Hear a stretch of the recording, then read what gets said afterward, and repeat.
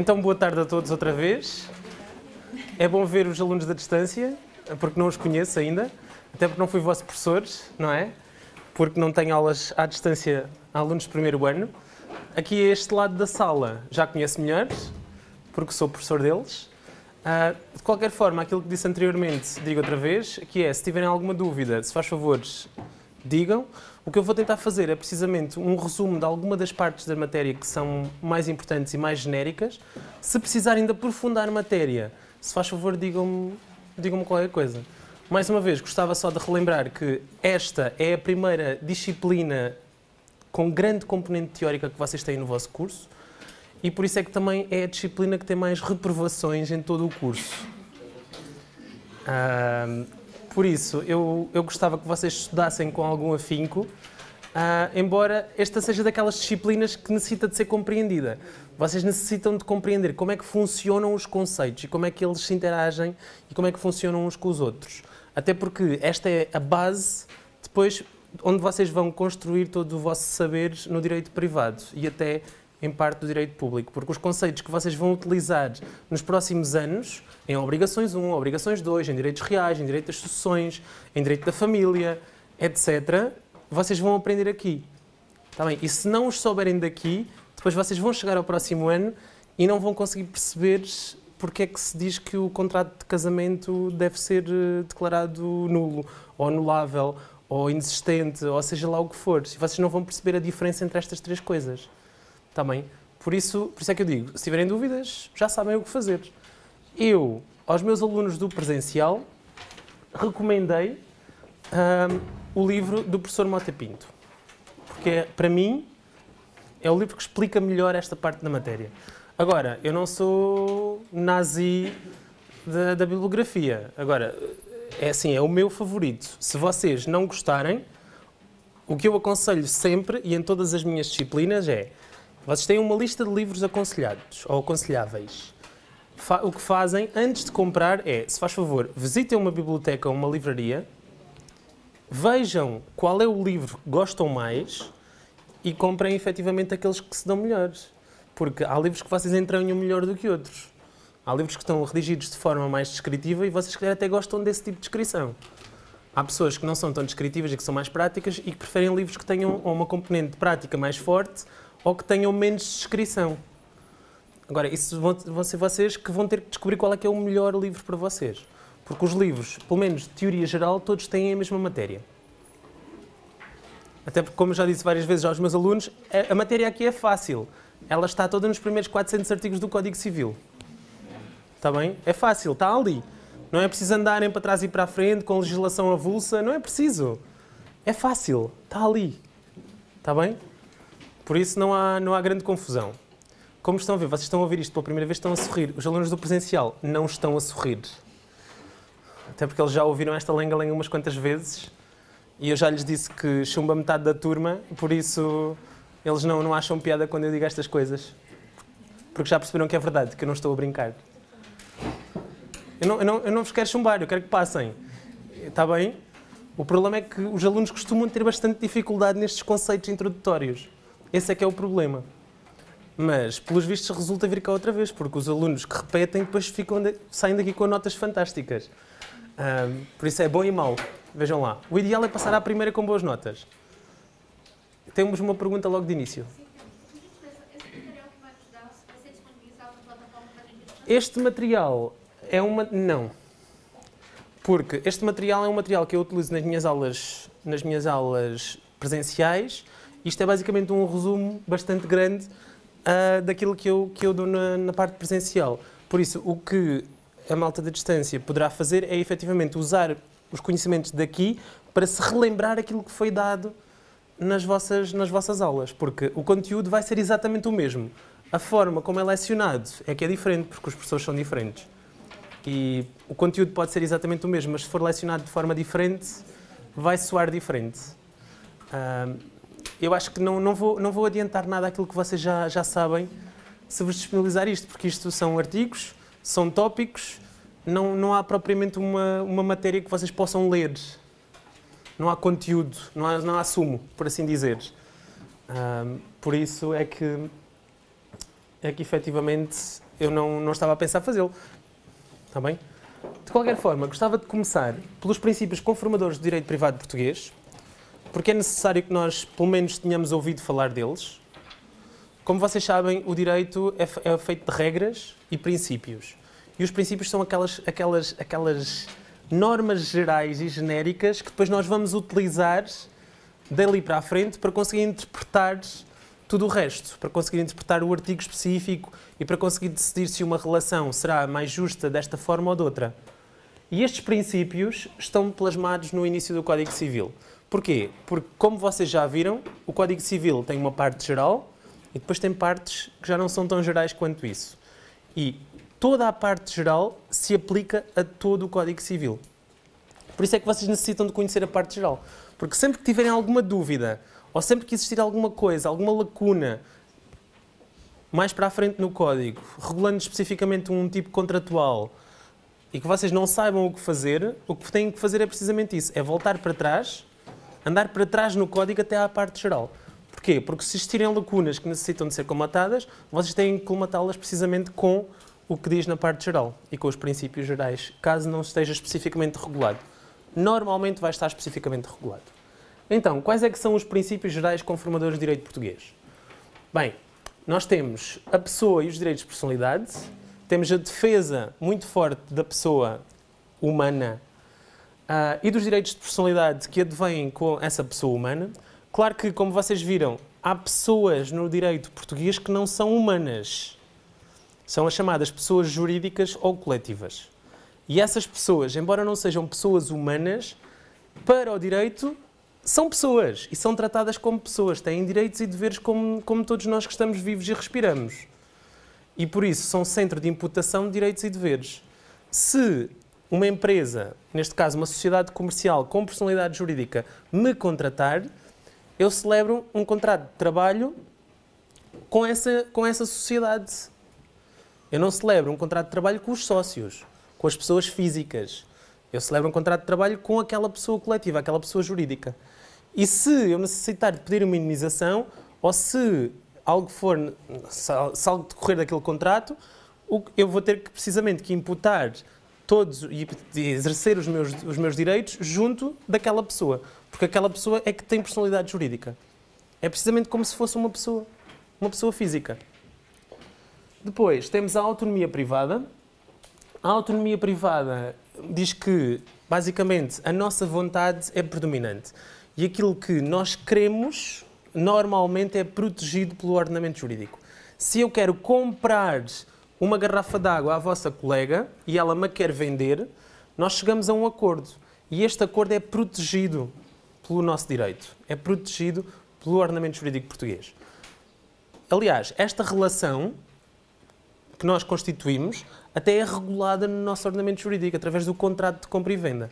Por isso, se nós nos desentendermos ou se não soubermos o que é, quem é que tem a obrigação de fazer o quê, nós podemos ir ao Código Civil, onde está regulado o contrato de compra e venda, e ver como é que vamos gerir esta nossa relação.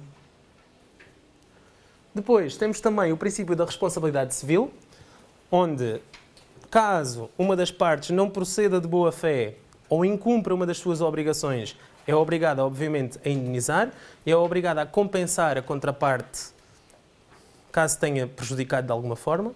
Esta responsabilidade civil, como vocês se devem lembrar, pode ter duas vertentes. Ou contratual, caso emerja do incumprimento de um contrato, ou extracontratual, caso emerja efetivamente do incumprimento de um dever legal. Depois temos o princípio da boa-fé, e o princípio da boa-fé é necessário que vocês o percebam porque é um princípio estruturante a todo o direito privado português. Porquê? Porque a distinção entre estarmos de boa-fé ou estarmos de má-fé tem consequências muito, muito fortes no nosso direito. E como vocês vão ver no próximo semestre, onde vão ver, por exemplo, reais, não sei se vocês já ouviram alguma vez falar da uso capião.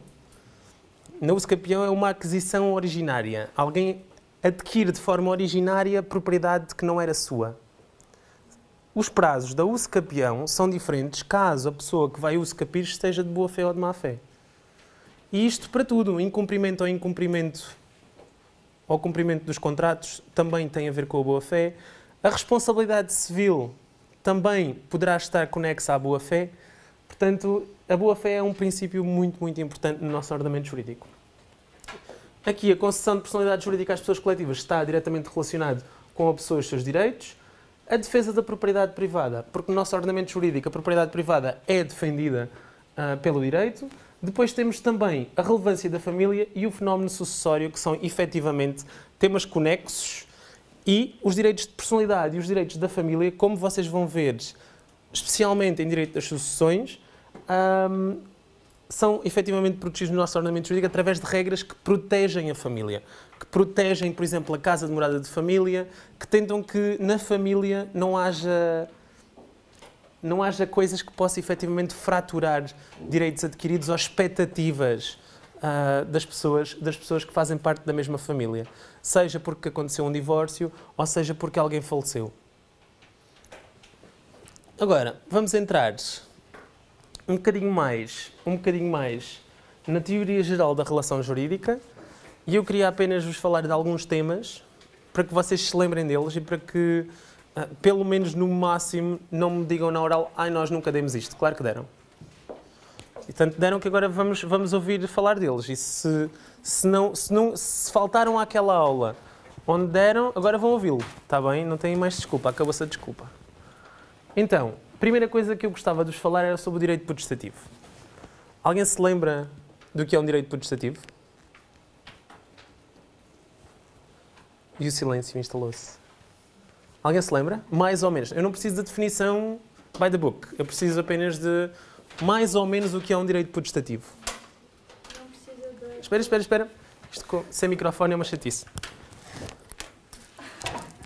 Não precisa da colaboração de ninguém para fazê-lo.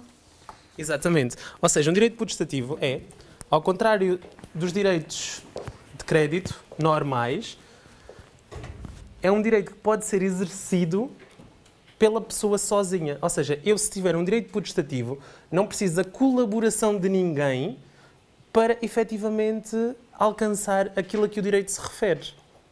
Por exemplo, se eu quiser celebrar um contrato de compra e venda com uma das vossas colegas, eu necessito do consentimento dela para vender, não é? Eu não consigo lhe comprar nada sem que ela aceite vender. No entanto, o direito putestativo não necessita da colaboração de ninguém. E caso exista, caso me seja conferido pelo ordenamento jurídico, ou pela lei, se quiserem, então eu não vou necessitar que mais ninguém diga nada. Eu sozinho consigo fazer, produzir efeitos na minha esfera jurídica ou na esfera jurídica de outra pessoa.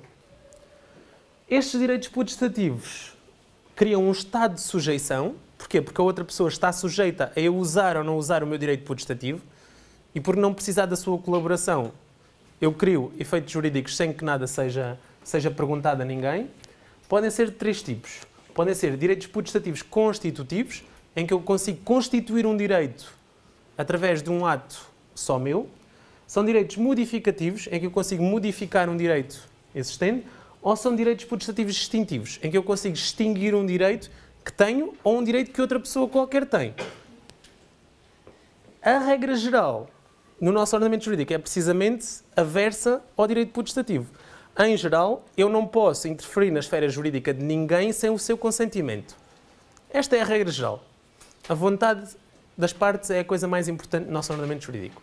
Por isso, o direito putestativo é um direito que desvia, é uma exceção a este princípio geral. E por isso é que é preciso que vocês fiquem com o ruído do que é um direito putestativo, para quando vos aparecer um, vocês saibam, ah, afinal, a vontade das partes aqui não é tão forte quanto isso, porque uma das partes sozinha tem o direito putestativo de fazer alguma coisa. Por exemplo, de resolver o contrato. Ou tem o direito de adquirir alguma coisa. E por isso é preciso que vocês saibam esta distinção entre direito putestativo e direito de crédito ou direito ou obrigação genérica. Diga-me. Sim, exemplos de direito putestativo. Podemos ter, por exemplo. Estavam a dar exemplos? Sim? Espera, espera, espera, espera. Não, não é um bom exemplo. Mas, mas o direito putestativo é um poder através do qual tu podes produzir efeitos jurídicos na esfera de outra pessoa. A procuração é um negócio jurídico unilateral, onde tu produzes efeitos jurídicos pelo teu, por um ato próprio, mas não interferes na esfera jurídica de ninguém. No direito putestativo, tu interferes na esfera jurídica de alguém. Por exemplo, se, se eu e a vossa colega tivermos aquele contrato de compra e venda, mas se no contrato ficar, ficar efetivamente uh, posto que eu fico com o direito putestativo de resolver sozinho o contrato, então eu posso terminar o contrato sozinho. A regra geral é de que, como estamos numa relação bilateral, em que os dois necessitamos, em que os dois entramos para produzir efeitos jurídicos, então tínhamos que vir os dois outra vez a acordar a, a dissolução daquele contrato. Mas se eu tiver o poder de dissolver, de destruir o contrato sozinho, então eu tenho um, poder, um direito putestativo. Eu sozinho consigo terminar aquele contrato. Então, um testamento, por exemplo, é direito putestativo? Não, um testamento é um negócio jurídico unilateral, mas não é putestativo. Porquê? Eu não posso forçar ninguém através de um testamento a receber os meus bens. Eu, eu destino os bens a alguém depois da minha morte, mas essa pessoa depois vai ter o direito de os receber ou não, ou de repudiar e dizer não, não quero receber isto. Direito putestativo é quando a pessoa não pode fazer nada, está sujeita à produção de efeitos jurídicos que se produzem automaticamente. Uh, uh, por isso é que a resolução ou a destruição de um contrato é um bom exemplo. É um exemplo de que nós temos um contrato de compra e venda. Se eu, quer dizer, em princípio, eu não tinha o direito de destruí-lo. Precisávamos dos dois concordados. Mas se eu tiver, se tivermos escrito uma cláusula no contrato em que realmente eu fico com o direito de destruir sozinho, unilateralmente, este contrato, então basta-me enviar-te uma carta, por exemplo, para resolver o contrato.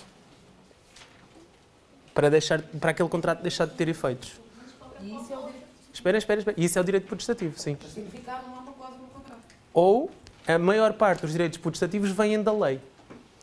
A grande maioria dos direitos putestativos que nós temos no nosso ordenamento jurídico normalmente vêm da lei. E são direitos que são conferidos pela lei para proteção da parte mais fraca. Por exemplo, por exemplo, não sei se vocês na distância chegaram a falar de direito do consumo. É provável que não. Nós, no presencial, falámos um bocadinho de direito do consumo. Por exemplo, se, eh, por exemplo, se vocês comprarem alguma coisa pela internet vocês estão a fazer uma compra à distância. Vocês recebem a coisa que compraram. Durante 14 dias, vocês têm o direito putestativo a arrepender-se.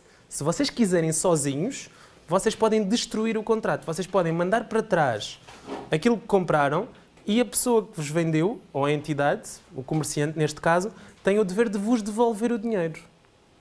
Porquê? Porque vocês têm um direito putestativo, têm um poder dado por lei de resolver o contrato sozinhos. Vocês não precisam da colaboração de ninguém.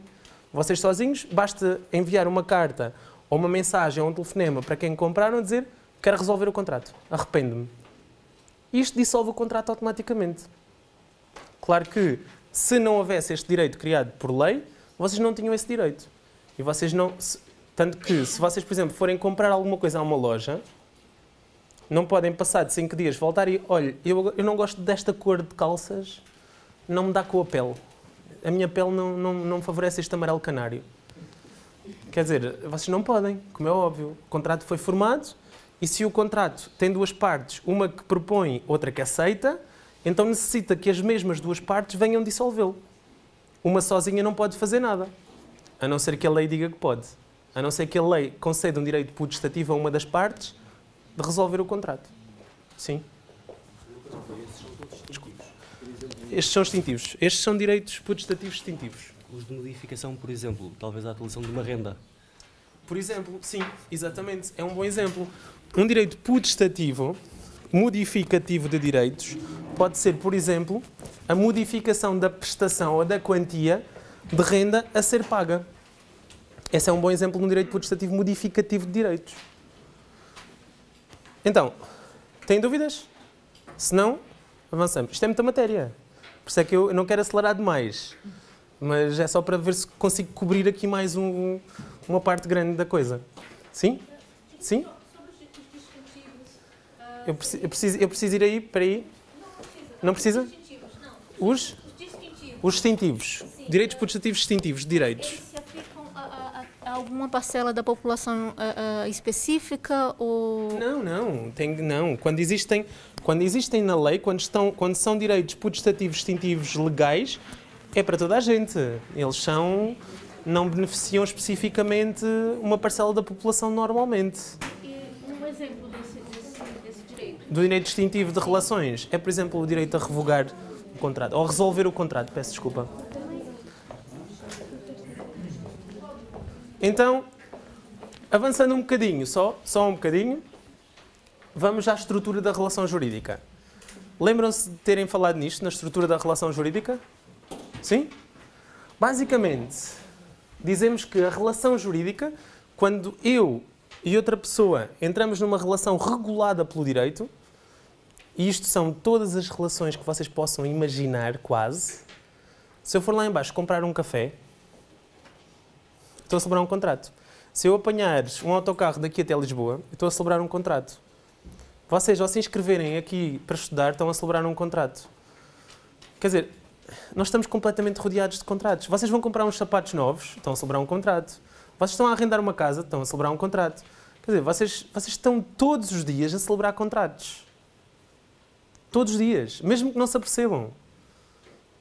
Se eu vos der uma caneta, estamos a celebrar um contrato. Não é um comodato. Isso seria um empréstimo gratuito da caneta. Sim, mas se eu vos der a caneta, se der a caneta, não. Hum, Uma dádiva. É uma liberalidade estranha, daquelas estranhas. Pois é. Então, tudo isto são relações jurídicas. Tudo isto são, efetivamente, negócios jurídicos que nós fazemos uns com os outros todos os dias das nossas vidas. E são regulados pelo direito, mesmo que vocês não tenham noção disso. Porque são regulados pelo direito, nós temos que perceber quais são os seus elementos constitutivos. Temos que olhar para dentro deles, destas relações que são criadas todos os dias, para tentar perceber como é que elas, quais são, como é que aquilo acontece. Então, normalmente, nós podemos separar estas relações em quatro, ahm, numa estrutura de quatro, quatro factos bastante, bastante interessantes e que, que estão em todas as relações jurídicas. O primeiro é o sujeito, ou sujeitos. Em todas as relações jurídicas existem sujeitos, porque existem pessoas, não é? Se não existirem pessoas, não há ninguém para ter direitos e deveres. Porquê? Porque a pessoa, na sua esfera jurídica, é que tem direitos e deveres. Ao ter direitos e deveres, pode transacionar com o mundo. E por isso temos sempre que ter sujeitos.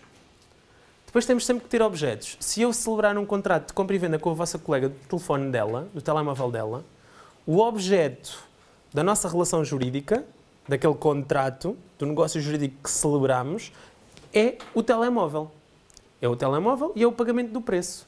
Não é? Porque ela dá-me o telemóvel e eu pago-lhe o preço do telemóvel. Depois, tem sempre que existir normalmente, normalmente não, tem sempre que existir um facto jurídico. Para que a- o direito de propriedade do telemóvel passe dela para mim, da esfera jurídica dela para a minha esfera jurídica, é necessário que haja um facto legitimador. Tem que haver uma causa para o, para o direito de propriedade ter sido transferido dela para mim. Essa causa é a existência de um contrato de compra e venda. Por isso é que dizemos que existe sempre um facto jurídico que justifica a existência da relação. Para além disso, existe sempre uma garantia. O que é que acontece se nós realmente celebramos um contrato de compra e venda e eu não lhe pago o valor que lhe devia ter pago pelo telemóvel? O que é que ela pode fazer, em geral? Só? Pode, a colega disse pode pedir de volta o telemóvel. Pode resolver o contrato, pode fazer mais o quê? Mas ela quer o dinheiro. O que, é- que pode fazer? Pois, ela pode ir para o tribunal dizer: Eu celebrei um contrato válido que diz que eu tenho direito a receber 500 euros. Eu quero receber 500 euros. E o tribunal vai dizer: Sim, senhor. Tem um contrato válido, tem o direito a receber 500 euros. A contraparte no seu contrato, que sou eu, o devedor, não pagou, obra- não, ou não, não, não, não pagou o dinheiro que, que devia, por isso nós vamos a obrigar a pagar. Como é que eles obrigam a pagar? Através da garantia que existe do cumprimento das obrigações. Esta garantia é todo o meu património, é todo o meu dinheiro.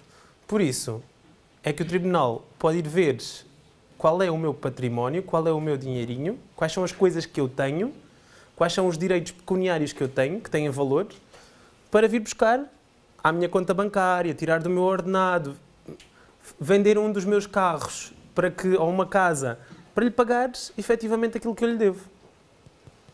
Isso é a garantia do negócio jurídico. A garantia de que a minha obrigação vai ser cumprida. E se não for a bem, é mal.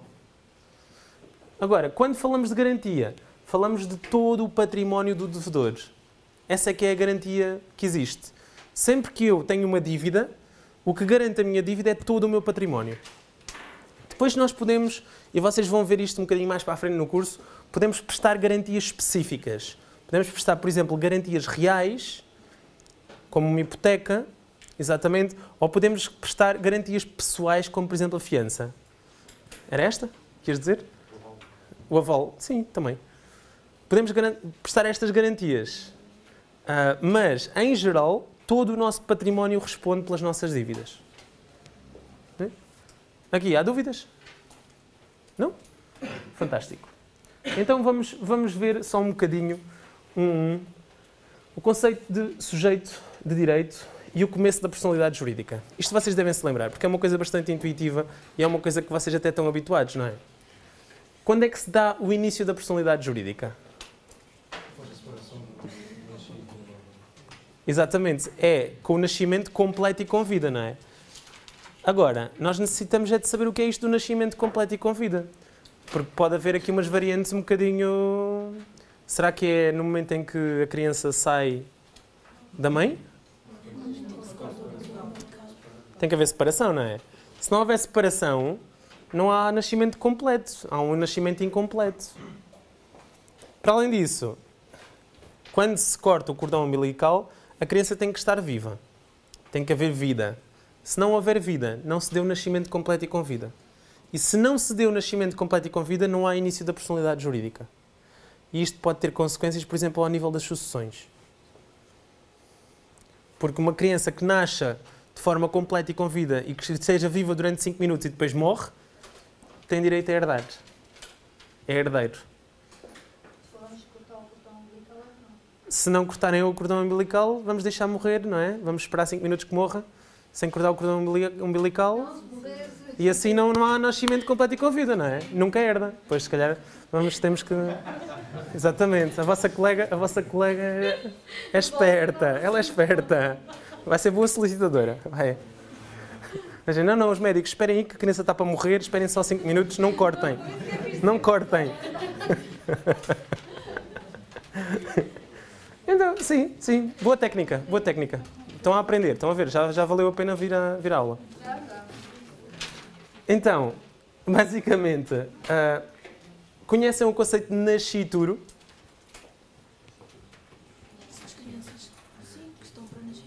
São crianças que estão para nascer, mas que ainda não nasceram. Ou seja, já foram concebidos, mas ainda não nasceram. E os conceituros, lembram-se? Ainda não foram concebidos. Exatamente. É, é necessário distinguir entre nascituros e conceituros, porque a lei reconhece diferentes direitos para uns e para outros. Está bem? Mais uma vez, vão ouvir falar muito disto em direito às sucessões, que é quando vocês vão novamente voltar aqui à parte dos nascituros dos conceituros e dos direitos que eles poderão efetivamente ter ou não ter relativamente ao nível sucessório. Coisa diferente da personalidade jurídica. O que é a personalidade jurídica?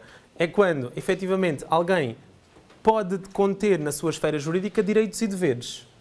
Diferente disso é a capacidade jurídica. Porquê é que eu digo que a capacidade jurídica é diferente da personalidade jurídica?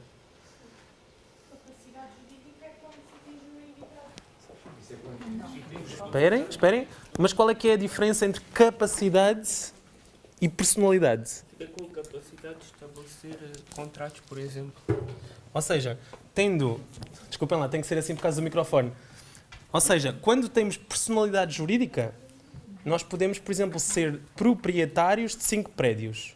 Mas se não tivermos capacidade jurídica, não os podemos alienar, não os podemos vender.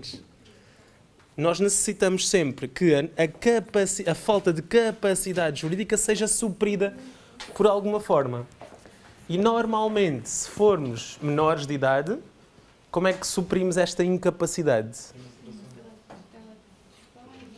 Pela tutela dos pais, não é? Os pais, os pais é que nos vão é que nos vão efetivamente, através do poder paternal, suprir esta, esta capacidade. Se bem que muitos de vocês estavam a responder uma coisa um bocadinho ligeiramente diferente, não é? Estavam a falar de emancipação. Podem, podem dizer o que é isso da emancipação? Espera, espera, espera, espera, espera, espera. Quando se obtém capacidade jurídica plena uh, com 16 anos, porque recorre-se a casamento, por exemplo. Recorre-se a casamento? Uh, com a autorização isso, dos pais? Exatamente. Exatamente. Com a autorização dos pais, com a autorização dos pais, depois dos 16 anos, os menores podem adquirir capacidade jurídica através da emancipação. Ou seja, a partir dos 16 anos casados, aqueles que seriam menores, portanto menores de 18 anos, não tinham capacidade ainda jurídica. Tinham personalidade, mas não tinham capacidade. Depois da emancipação, passam a ter tanto personalidade como capacidade. Já não precisam do suprimento de absolutamente ninguém. Podem transacionar os seus bens à sua vontade. E se quiserem, já podem, por exemplo, vender um imóvel por si mesmos. Não precisam de autorização ou tutela de absolutamente ninguém. Então, o 68 fala do termo da personalidade jurídica. Como é que termina a personalidade jurídica? Com a morte. É a única forma de determinar a personalidade jurídica, está bem? É morrendo. Agora, esta morte pode ser verdadeira, pode acontecer, ou pode necessitar de ser declarada. Imaginem, alguém que, alguém que vai viajar pelo mundo e que durante 30 anos não dá notícias. Quer dizer, nós não sabemos se a pessoa está morta ou não, mas estarmos aqui à espera. Imaginem um, um, alguém. Vocês casam com alguém, essa pessoa desaparece durante 30 anos. Quer dizer, há de haver ali uma altura em que vocês podem querer casar outra vez, não é? E não podem. Se calhar, quer dizer, mais vale, mais vale fazer qualquer coisa quanto a isto. E a forma de fazer qualquer coisa contra isto, quanto a isto é tentar que aquela pessoa seja declarada, não é? Seja presumida. Exatamente. Pode? Sim, pode ser através de uma declaração de morte presumida. Desculpa lá, tem que ser assim. Também não estou habituado a andar tanto, tanto de um lado para o outro. Um artigo muito importante e que muitas vezes as pessoas descuram é o artigo 69 do Código Civil, que nos diz ninguém pode renunciar, no todo ou em parte, à sua capacidade jurídica. O que significa que eu não posso renunciar a direitos que são inalienáveis. E a capacidade jurídica é um desses direitos que eu não posso alienar, mesmo que eu queira. Se eu quiser, se eu pudesse alienar de todos os meus direitos, eu podia, em extremo, alienar o meu direito à vida e permitir que alguém me, assassinasse. Quer dizer, não, era assassin... não me assassinava, porque eu permitia. No entanto, eu não posso fazer isto. Há certos direitos que eu não posso alienar, eu não posso dispor deles. Eu não posso dizer, afinal já não quero gozar destes direitos. Podes-me matar, podes-me cortar um braço, podes fazer o que quiseres. Não, isto não pode acontecer a capacidade jurídica é um desses direitos que está protegido e por isso não pode ser alienado pela pessoa. Mesmo que a pessoa queira, não vale a pena. São direitos indisponíveis, exatamente. Entra naquela categoria de direitos indisponíveis, ou seja, que não estão na disponibilidade do sujeito. Portanto, a capacidade jurídica pode-se desdobrar em capacidade de exercício dos direitos, a capacidade de cumprir obrigações, capacidade de adquirir direitos ou capacidade de assumir obrigações. Podem-me dar um exemplo de capacidade de exercício de direitos? Só para ser mais interativo, senão eu fico aqui a falar durante duas horas. Exercício de direitos. Um direito que eu tenha que possa exercer. Qualquer um. Exemplos. O? O exemplo do casamento. Como é que tu exerces direitos no casamento? Isto agora podia correr muito mal. Dá-me lá exemplos de direitos que possas exercer fundados no contrato de casamento. A exigência do? Do amor? Não é? Não é direito? Não é direito? Não é direito? Não, eu estou a perguntar. O, o amor é direito ou não é? Está a ser gravado, isto vai ficar disponibilizado no YouTube, por isso não podemos dizer. Eu não vou, não vou, não vou dizer essas coisas, mas é, parece que é direito, não é? Pelo menos as decisões dos nossos tribunais dizem que é direito. Mais direitos, mais exercício de direitos. Vocês aqui, se eu vos, se eu vos chumbar, vocês fazem os testes, os vossos testes. Eu chumbo-vos. Vocês não podem exercer o vosso direito à revisão. Se faz favor, façam-no. Não? Não é? Quer dizer, em alguns casos não vale a pena, mas noutros. noutros vale. Por isso, o exercício de direitos. Nós estamos a exercer direitos todos os dias. E o problema deste tipo de perguntas é que é tão óbvio que às vezes nem sequer, nem sequer conseguimos pensar neles, porque para nós são óbvios, são coisas normais que fazemos todos os dias. O problema é que isto está regulado pelo direito. Mesmo que vocês não pensem nisso, está regulado. Se eu não vos, se eu não vos fizer a revisão da prova, vocês podem intentar uma ação judicial no Tribunal Administrativo para obrigar o Politécnico a rever a vo- o vosso teste. Porque na verdade eu estou a representar o Politécnico. Ou, ou ou corrigir o vosso, o vosso teste. E ou vos atribuir uma nota. Já pensaram nisso? Tá, é verdade. Não estou a dizer para entrar em litigância contra o Politécnico, atenção. Não, não estou a incentivar. Nem nada disso. Não façam, não vale a pena. Eu acho que há outras formas. Mas a verdade é essa. Por exemplo, se vocês tiverem um direito, se vocês estiverem a arrendar uma casa, vocês têm um direito a que sejam reparadas coisas que estão, que estão, que estão mal na casa, vocês têm o direito à salubridade, se vocês tiverem mais de 18 anos, têm o direito a votar. Vocês têm muitos direitos de exercício que provêm precisamente da capacidade para exercê-los. Então, e cumprimento de obrigações? Pagar uma dívida. Se vocês, se vocês tiverem menos de 18 anos, ou se não forem emancipados, vocês não podem pagar as vossas dívidas. São os vossos pais que têm que pagar as vossas dívidas. Porquê? Porque vocês não têm capacidade para dispor dos vossos direitos. Vocês não podem dispor de 500 euros se tiverem menos de 18 anos. Em princípio. Em princípio, sim, é direito. Por isso, em princípio está implícito. Está bem? Em princípio. Porque há sempre derrogações à regra. Sempre. Em tudo o que eu disser. Está bem? Leiam como o que eu disser vem antes, de- antes do que eu disser vem em princípio. Está bem? Por isso, é só para, para deixar isso claro. Adquirir direitos. Adquirir um imóvel, adquirir uma moto, seja lá o que for. Capacidade para assumir obrigações. Assumir a obrigação de pagamento do imóvel, assumir a obrigação de pagamento da moto, obrigar-se a, a pagar um café. Hum. Ah, não, mas é. Sim, sim, sim, sim, sim. Se bem que essa obrigação, como é uma obrigação que normalmente é da vida corrente do, do menor, ele tem capacidade para. Esperem lá, esperem lá, esperem lá. É dos 16 anos quando trabalha. Ah, sim. Exatamente. Essa é uma das exceções à regra geral, que diz que se os rendimentos de um maior de 16 anos forem utilizados por si, então ele, pode, ele tem capacidade para dispor desses rendimentos. É aquele caso normal do, do menor de, de 18 anos, mas maior de 16, que trabalha e que compra uma moto. E que depois que os pais dizem, não, não, não compras nada à moto, vou devolver ao stand. Se ele comprou com os rendimentos próprios do seu trabalho, o pai não pode ir devolver a moto ao stand. É uma das poucas exceções que existem. Ao princípio da capacidade, ou da falta de capacidade na minoridade. Então, quais é que são os efeitos de atingir 18 anos? Estes efeitos estão plasmados no artigo 130, que nos diz que aquele que fizer 18 anos de idade adquire a plena capacidade de exercício de direitos, ficando habilitado a reger a sua pessoa e dispor dos seus bens. E depois, a emancipação encontra-se no artigo 132, que nos diz que o menor é, de pleno direito, emancipado pelo casamento.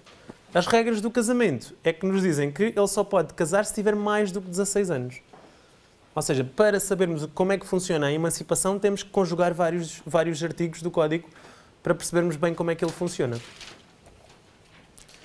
Como veem, eu estou a andar bastante depressa.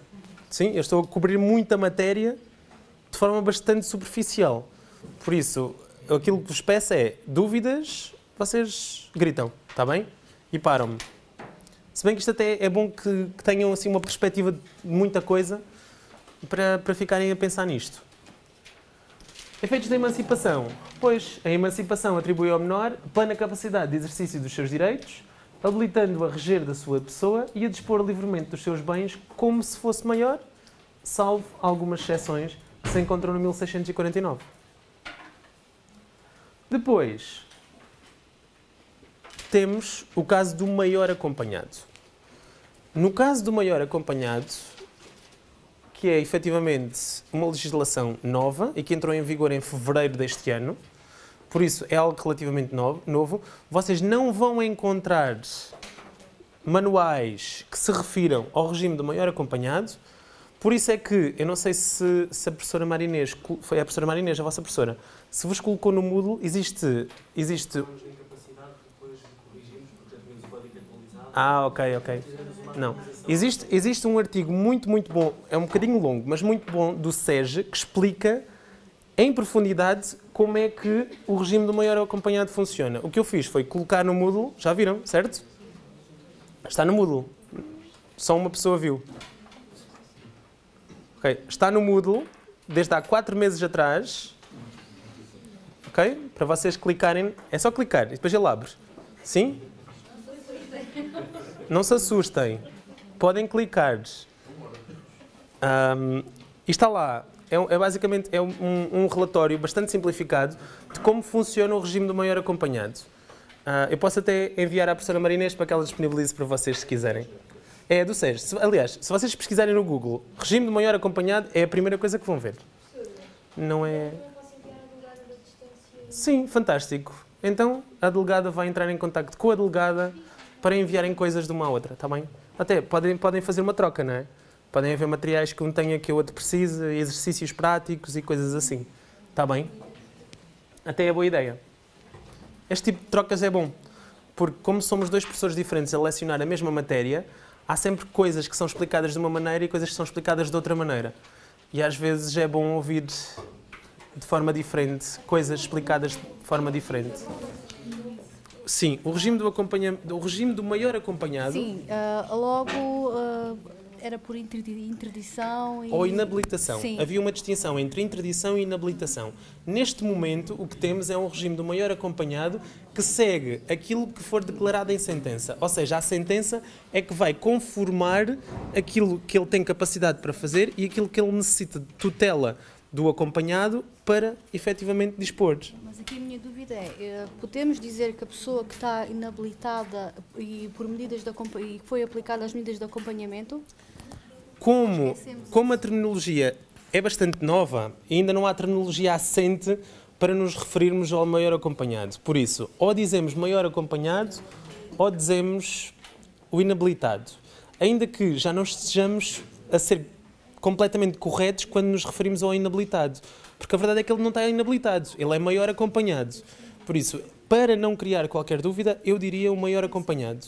Mas se quiserem dizer o inabilitado, podem. Até porque o Código Civil ainda tem menções ao inabilitado, pessoa inabilitada.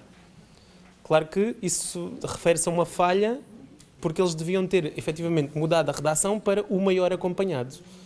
Mas já agora, se me, se me puder ler o artigo 138. Eu? Sim. Sim. O maior é possibilitado, por razões de saúde, deficiência ou pelo seu comportamento, de exercer plena, a pessoal e conscientemente os seus direitos ou de, nos, nos mesmos termos, cumprir os seus deveres, beneficia das medidas de acompanhamento previstas neste Código.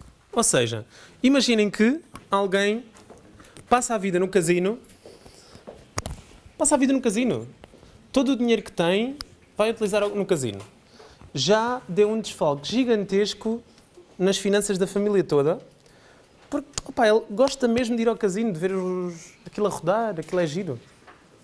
Acham que esta pessoa pode, pode, ser, pode ser sujeita a medidas de acompanhamento? Sim. Porquê? Exatamente, porque é um dos critérios que existe no artigo 138, o seu comportamento. Claro que normalmente este tipo de medidas serve para pessoas que são, por exemplo, cegas, surdas mudas ou que não podem mesmo, que têm grandes, grandes dificuldades de interagir com o mundo real. Eu não estou a dizer que todas as pessoas cegas ou que todas as pessoas surdas mudas necessitem deste tipo de acompanhamento, até porque a maioria não necessita. lá porque têm uma deficiência física, isso não significa que necessite de acompanhamento. Podem muito bem reger a sua vida. Agora, quando a deficiência é muito profunda ou quando existem, depois, obviamente, outras dificuldades associadas à deficiência, pode ser necessário. E por isso é que o regime é tão abrangente.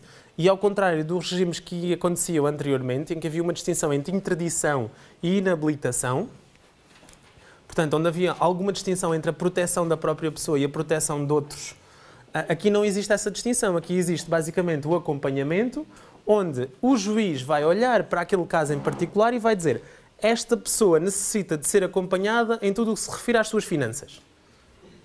Por isso, fica acompanhada para as finanças. Ou vai dizer, esta pessoa eh, é bulímica, por exemplo, por isso necessita de ser acompanhada em tudo o que se relacionar à sua saúde. Por isso, aquela pessoa vai ser precisamente acompanhada por um tutor em tudo o que se relacionar com os seus cuidados de saúde. Portanto, funciona assim. É um, é um novo regime que faz mais sentido teoricamente. Vamos ver como é que funciona na prática. Mas, como vocês sabem, a legislação desta, tão, tão diferente da anterior, temos que lhe dar algum tempo para ela respirar e para ver como é que funciona na prática. Se funciona melhor ou pior do que o regime anterior. Então, eu não, eu não, não, vou, não vou ficar muito nisto, até porque vocês vão receber o, aquele, aquele documento e o documento explica muito bem, está bem? Explica mesmo muito bem. Por isso é que eu não, não tenho grandes, grandes dificuldades em passar, em passar um bocadinho esta matéria. Temos de ter cuidado com as horas porque só temos duas horas de bateria então, falando de pessoas singulares, nós sabemos que a sua personalidade adquire-se com o nascimento completo e com vida, no momento da separação do, do corpo materno, e não é exigida perfeição física ou sobrevivência. Ou seja, mesmo que a criancinha. É melhor parar, não é? Os meus alunos presencial já, já me conhecem, então já começaram a rir, não é? Começaram a ver isto, vai dizer que vai nascer sem pernas e braços. Sim, era exatamente isso que eu ia dizer. Mesmo que a criancinha nasça sem pernas ou sem braços, continua a ser pessoa. Não é necessário perfeição física, até porque isso da perfeição física é mito. Mas, mas não é preciso ter as características físicas que se têm por eh, normais, por assim dizer. Para além disso, devemos sempre distinguir entre nascituros já concebidos ou ainda não concebidos. Mas isso vocês já me parece que percebem. Um, uma coisa que eu gostava que eu gostava de vos falar era quanto à morte. A morte encontra-se regulada morte da pessoa física. Portanto, termo da personalidade da pessoa física. Porque é diferente do termo da personalidade da pessoa jurídica ou coletiva. Já agora, eu, eu, normalmente utilizo o termo pessoa jurídica. Há pessoas que preferem o termo pessoa coletiva. Eu não gosto do termo pessoa coletiva porque podem existir pessoas coletivas que não são coletivas. Podem ter apenas um sócio. Ou seja, se a pessoa não necessita de ser coletiva para ser pessoa coletiva, então não lhe devemos chamar pessoa coletiva, devemos chamar pessoa jurídica. É uma questão de gosto. Termo da personalidade nós às vezes necessitamos de saber quando é que a pessoa morre. O problema é que, imaginem que, vamos fazer um, um exemplo bastante trágico, eu e, a vossa, eu e a vossa colega vamos de carro e temos um acidente. E morremos. Qual é que morreu primeiro? Não é fácil, não é? Saber quem é que morreu primeiro. Se não é possível comprovar quem morreu primeiro, então temos que ir ao, ao número 2 do artigo 68, onde a lei presume quem é que faleceu e quando. Esta presunção chama-se presunção de comorriência. Comorriência. Quando certo efeito jurídico depender da sobrevivência de uma pessoa, de uma a outra pessoa, presume-se em caso de dúvida que uma e outra faleceram ao mesmo tempo. Portanto, presume-se que morreram ao mesmo tempo. Por isso é que lhe chamamos comorriência. Isto vai-vos ser útil, muito útil, quando vocês tiverem, ou se alguma vez tocarem, por exemplo, em seguros de vida, se alguma vez lidarem com essas, com essas situações, ou na disciplina de uh, Direito das Sucessões. em que, por vezes, morrer um minuto antes de outra pessoa pode ter consequências bastante gravosas em termos de sucessão. No entanto, o número 2 tira-nos as dúvidas e diz que morrem ao mesmo tempo. O número 3 diz-nos que tem-se por falecida a pessoa cujo cadáver não foi encontrado ou reconhecido quando o desaparecimento estiver dado em circunstâncias que não permitam duvidar da morte dela. Aqui não há morte presumida. Não. Aqui a pessoa tem-se mesmo por falecida. Não há presunção, ela morreu. Está bem? É diferente.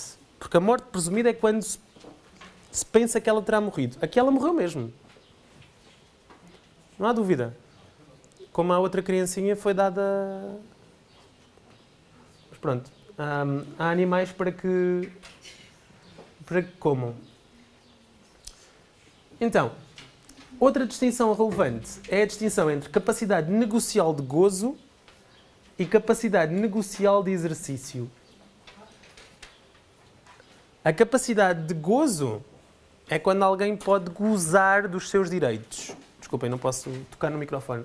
A capacidade negocial de exercício é quando alguém pode dispor ou exercer os seus direitos. E enquanto que quem tem personalidade jurídica, em princípio, tem capacidade de gozo,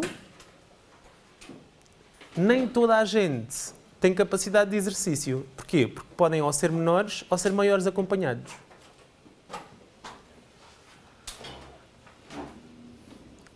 E eu tenho aqui uma lista de.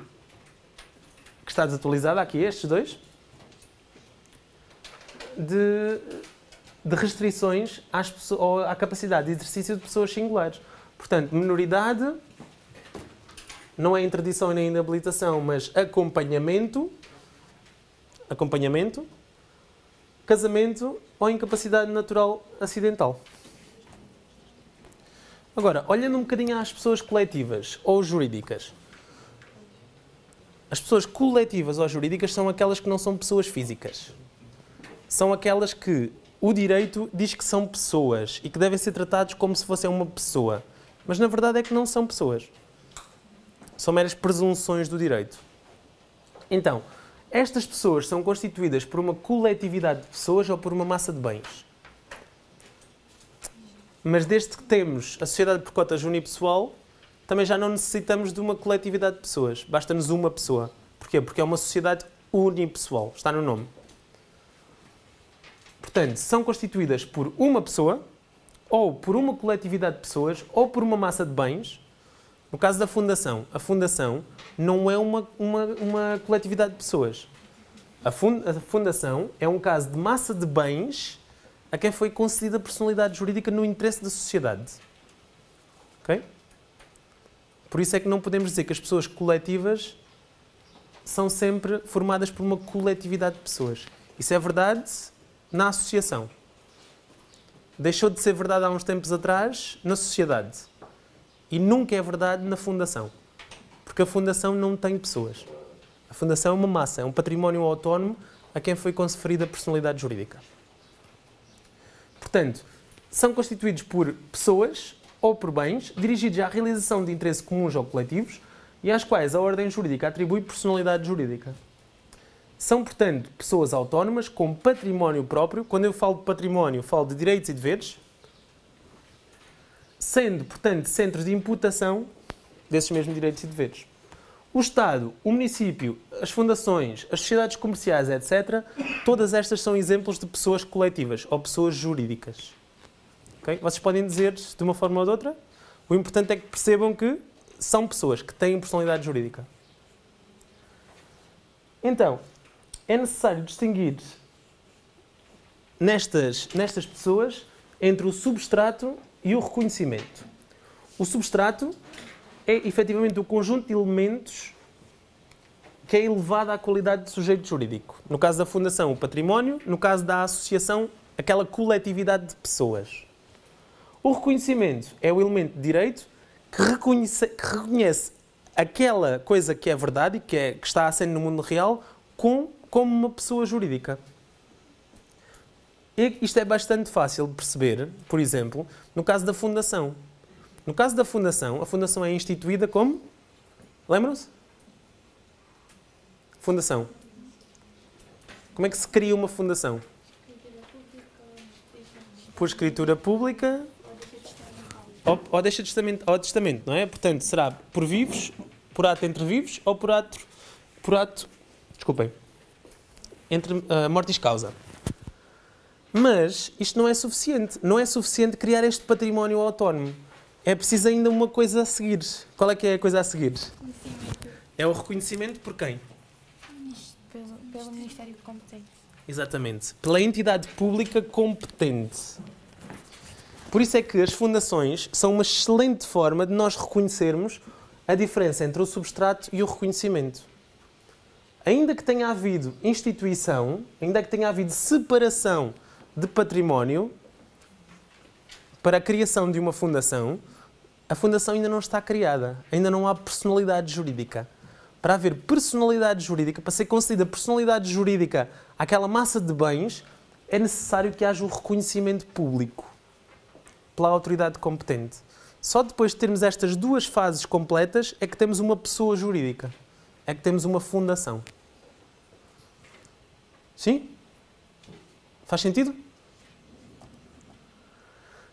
Ah, então, eu não, quero, não vos quero maçar sobre as associações, fundações e sociedades. Quero apenas falar-vos de forma bastante breve sobre o ato de constituição das três. O ato de constituição das associações encontra-se regulado no artigo 167 e seguintes do Código Civil, e que nos diz que o ato de constituição da associação especificará os bens ou serviços que os associados concorrem para o património social, a denominação, fim e sede da pessoa coletiva, a forma do seu funcionamento, assim como a sua duração, quando a associação não se constitua por tempo indeterminado. E daqui sabemos que a associação é sempre um grupo de pessoas que contribui com alguma coisa do seu património, não é? Que tem, por isso, património social, um nome, um fim, porque foi criado, uma sede, um sítio que tem sede, tem que ser dito como é que vai funcionar e pode ser criada apenas por um determinado período de tempo ou pode ser para sempre. Normalmente, as associações são todas as pessoas coletivas em geral são criadas para sempre. Ou seja, não há fim certo, não há data da morte destas, por assim dizer. No entanto, por vezes isto existe, por vezes acontece. E se alguém for ao vosso escritório, quando vocês forem a solicitadores, e vos disser que quer constituir uma associação que dure 30 anos, vocês podem fazê-lo. E ao fim de 30 anos, o que é que acontece? Morre. Não literalmente, mas figurativamente não é? deixa de existir como pessoa jurídica. Exatamente. Sim? Não dá para? Digamos, revogar a data da morte. Eu digo que quero constituir uma associação por 30 anos. Certo. Mas se eu depois quiser alargar, okay. sim, dá? Dá. Okay. Dá, dá para alterar. Dá para alterar, efetivamente, o contrato de associação e os estatutos. Necessitamos é efetivamente de uma maioria reforçada ou até da unanimidade dos associados para fazê-lo, dependendo do que dizem os estatutos. Mas nós podemos alterar os estatutos da associação. Por isso é possível. É sempre possível. Normalmente. Pode é ser difícil, porque podem, por exemplo, todo, nem todos os associados podem concordar. Mas aqui depende. Depende da regra seguida e do que disser o contrato de associação. Uh, no caso das fundações, já falamos sobre elas, estão plasmadas no artigo 185 e seguintes, por isso, se faz favor, vejam. Se tiverem dúvidas, vocês também podem enviar um e-mail, está bem? Eu respondo também, e a professora Marinês também penso que responde, por isso não sei. Mas caso tenham sociedades, digam-me. Caso tenham sociedades, caso tenham dúvidas, caso tenham dúvidas, digam. Alguém disse professores? Não? Ninguém disse professores? Até porque vocês estão a morrer de calor, certo? Não sou só eu. Não, não. Não, então pronto.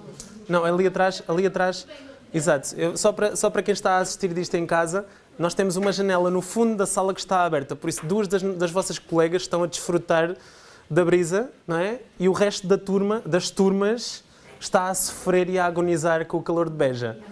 É só para, é só para terem essa noção, já que isto não, não é fácil, não é fácil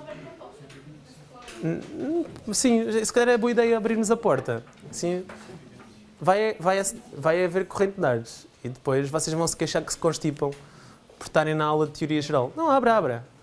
Abra, tudo. Sim. Muito obrigado. Então, passando para as sociedades. As sociedades, e é importante que vocês tenham isto ciente, podem ser de dois tipos.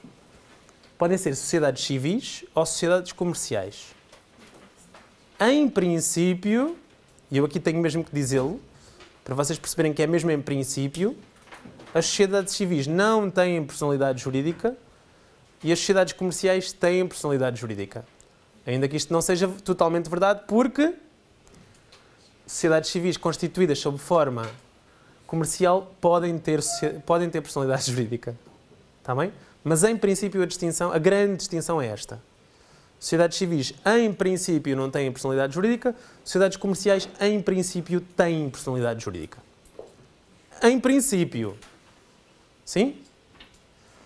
As sociedades comerciais são as que tenham por objeto a prática de atos de comércio e adotem uma das formas enunciadas pelo Código das Sociedades Comerciais, que vocês vão ver de forma bastante próxima nos próximos anos da vossa licenciatura. As sociedades que tenham por objeto exclusivo a prática de atos não comerciais são então as sociedades civis. Para além disso, hum, as sociedades comerciais têm personalidade jurídica porque o artigo 5 do Código das Sociedades Comerciais lhes confere personalidade jurídica. Por outro lado, as sociedades civis não têm personalidade jurídica porque, obviamente, o Código Civil não lhes dá personalidade jurídica. A única forma de terem personalidade jurídica é se se registarem como sociedade comercial no âmbito do Código das Sociedades Comerciais. Já agora, para vocês, para vocês terem uma noção, uma noção disto, para existir uma sociedade é sempre necessário existir um contrato de sociedade, onde os sócios vão decidir quais as regras a aplicar, quais as regras do jogo, basicamente. Como é que aquela sociedade vai efetivamente existir e como é que as relações entre sócios se vão dar. E por isso é que no artigo 980 temos efetivamente a definição não de sociedade, mas de contrato de sociedade. E que nos diz que o contrato de sociedade é aquele em que duas ou mais pessoas se obrigam a contribuir com os bens ou serviços para o exercício em comum de certa atividade económica, que não seja de mera fruição, a fim de repartirem os lucros resultantes dessa atividade. Agora, uma distinção é importante fazer aqui, que é, caso eu e o meu irmão tenhamos um laranjal no Algarve e começamos a vender a fruta do nosso laranjal, as laranjas, nós não temos um contrato de sociedade. Nós o que estamos a fazer é fruir ou receber a fruição de um património que temos conjunto, daquela propriedade. Está bem? Isto não é contrato de sociedade. Seria contrato de sociedade se, por exemplo, aqui a turma toda fosse passear até Paris e adquirisse um. Não, um não. Várias obras de arte para revender com lucro. Aqui sim. Aqui nós estávamos todos juntos a proceder de forma que visa efetivamente o lucro e não a mera fruição. Sim, pergunta. O quê? Não, porque é que é sociedade irregular? Não. Não, não neste caso. E, e, não neste caso específico. Ok?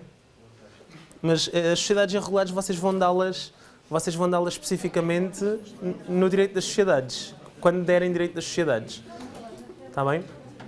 Têm, têm, dúvidas, têm dúvidas quanto a isto? Quanto às associações, fundações? Têm muitas? O quê? A sociedade não deram? Pois, mas têm que saber que ela existe, está bem? Mesmo que, sim, mesmo que não seja, mesmo que não saibam isto de forma profunda, é assim, se vocês vocês têm que saber que elas existem e que são pessoas coletivas. Ainda que não, ainda não, ainda não tenham que saber de forma aprofundada como é que elas funcionam, obviamente, porque vocês têm muito mais para aprender ainda, mas é preciso saberem que ela esta é um tipo de pessoa coletiva. Está bem? e que é diferente da associação e da fundação. No caso dos alunos presenciais, nós demos uh, sociedades de forma bastante, bastante mais aprofundada. Está bem? Mas o que eu, estou, eu só tenho duas horas para dar um semestre inteiro de matéria. E o que estou, como vocês estão a ver, estou a passar, estou a saltitar de forma bastante rápida sobre toda a matéria. Por isso é que estava a dizer, se têm dúvidas, digam. E, e como estão aqui as partes das duas turmas, ainda bem que não veio toda a gente, senão estavam pessoas sentadas no chão, uh, porque esta, esta sala dá para umas 100 pessoas, no máximo. Um, tenho que, obviamente, também tentar, tentar uh, agradar a todos. Então, uma pausazinha para o café. Chega às duas horas de aula. Está bem? Eu sei que isto é muita matéria muito condensada, mas a bateria dura duas horas. E ao fim de duas horas vêm cá buscá-la. E deixa de, haver, deixa de haver matéria para os vossos colegas que ficaram sentadinhos em casa com a ventoinha ligada, que eu estou a visualizá-los, é? a desfrutar de uma bebida fresca, enquanto nós estamos aqui a desfazer-nos com o calor de beja. Então, isto já. Vamos falar de declaração negocial.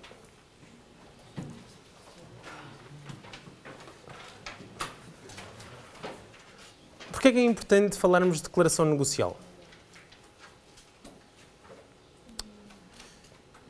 Porque, como nós, pelo menos nós, do lado direito da, da sala, já referimos várias vezes,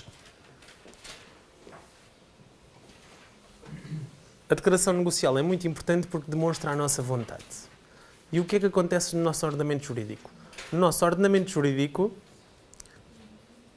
o nosso direito protege a nossa vontade. E, em princípio, se nós quisermos que a nossa vontade produza efeitos jurídicos, em princípio ela produzirá efeitos jurídicos. Porquê? Porque emergem obrigações de duas fontes, isto falando de forma bastante genérica. Emergem obrigações da lei e emergem obrigações da vontade. Como é que emergem obrigações juridicamente vinculativas da nossa vontade? Através dos negócios jurídicos. Já ouviram falar de negócio jurídico? Já? Sim? Sim. Que tipos de negócios jurídicos é que existem?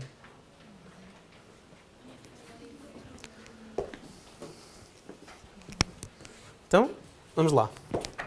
Desculpem lá. Negócio jurídico. A minha letra é terrível, por isso, se não perceberem, avisem.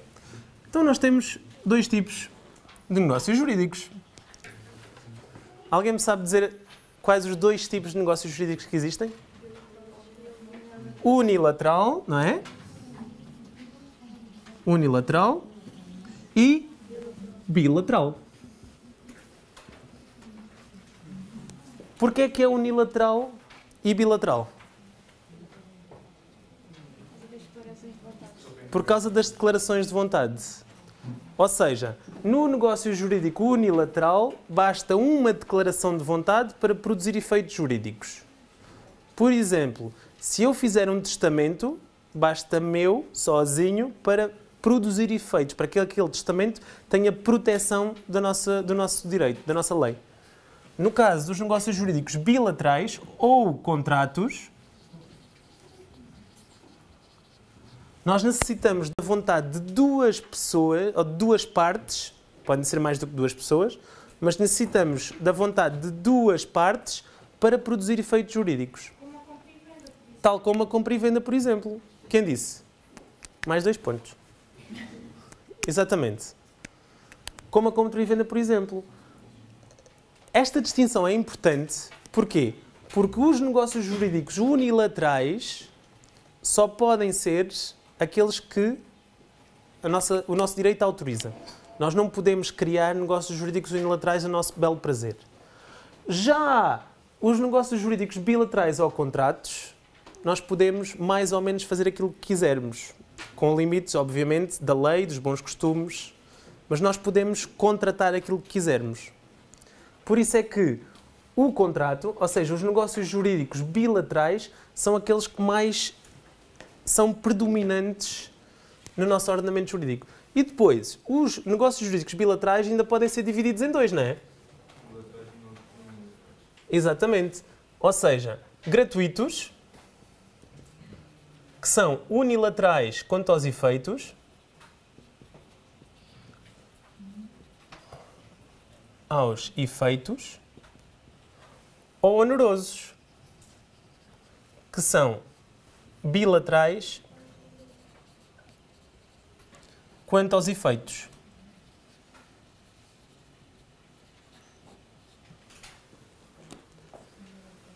Necessitamos sempre de uma proposta e de uma aceitação. Necessitamos sempre da intervenção de duas partes. Mas os efeitos podem ser apenas para uma das pessoas que intervém ou para as duas. Com um exemplo prático é mais fácil. Se eu celebrar um contrato de compra e venda com a vossa colega, por exemplo, exatamente do telefone dela, ela vai me entregar o telefone e eu vou-lhe entregar 100 euros. Ou seja, nós os dois fazemos uma troca. Eu entrego qualquer coisa, ela entrega-me qualquer coisa. Porque necessitamos da vontade de ambas as partes, estamos no âmbito do negócio jurídico bilateral, ou contrato. Mas quanto aos efeitos, este contrato, este contrato é oneroso ou bilateral contra os efeitos, porque tem efeitos para as duas partes. Exatamente. Já, se eu decidir doar 100 euros à vossa colega, tem que haver aceitação dela também. Estamos no âmbito de um contrato. Porque ela necessita de aceitar receber aqueles 100 euros. Mas vai ser um contrato gratuito. Porquê? Só ela é que vai beneficiar. Eu não vou receber nada. Eu não vou ter qualquer benefício. Aliás, pelo contrário, não é? Exatamente. O meu património vai ficar reduzido em 100 euros. Por isso é que podemos dizer que a doação é um negócio bilateral ou contrato gratuito ou unilateral quanto aos seus efeitos. Não? Não? Sim? É o... Sim, não, isto, isto, isto é suposto vocês também pensarem dizer isto não faz sentido nenhum. Depois têm é que me dizer porque é que não faz sentido. Mas. Não? Sim. Sim? Mas a sério, eh, precisa que explique. Precisa que, não, é assim. Precisa que explique de outra forma. Ah, é? Não faz mal. Isto vai acompanhá-la para o resto da vida. É verdade, nem sequer estou a brincar. Nem sequer estou a brincar. É. Se exercer, especialmente se exercer alguma, alguma profissão conexa com o direito. Então, porquê é que eu fiz esta distinção? Eu fiz esta distinção porque se estamos aqui no âmbito de contratos ou de negócios jurídicos bilaterais, como é que nós os vamos formar? Através de uma proposta e de uma aceitação. Isto também não, não falaram? Falaram? De aceitação, sim. E de proposta, não? Sim, sim. Também falaram? Sim, essa questão de... Então, falaram ou não falaram? E vocês, presencial, falaram?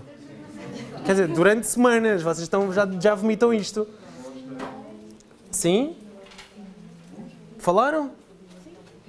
Então? Não, eu estou a perguntar se, se deram em aula como é que se chega a um contrato. Como é que se chega a um contrato? É através de uma proposta mais uma aceitação. Sim. Certo? Mas eu, o que fiz aqui foi para vocês perceberem que não há só contratos no nosso ordenamento jurídico. Há mais coisas a acontecer. Sim, aqui o que eu fiz, isto foi só para vocês perceberem que quando falamos de proposta e de aceitação, estamos a falar de um contrato. E nós temos que perceber o que é um contrato. Nós temos que perceber que um contrato é um negócio jurídico onde participam duas partes. E que por acaso pode ter efeitos apenas para uma parte, ser gratuito, ou ter efeitos para duas partes, ser oneroso. É só isto, não é, não é nada de transcendental, acho eu. Então, agora, o que necessitamos de saber, e a parte mais importante da matéria é esta, é como é que chegamos a um contrato válido e que produz efeitos jurídicos. E como é que chegamos a esse contrato válido e que produz efeitos jurídicos? É precisamente através daquilo que vocês disseram, através de uma proposta mais aceitação. Agora, necessitamos de saber o que é isso da proposta mais aceitação, até porque existem realidades que rodeiam a proposta e a aceitação.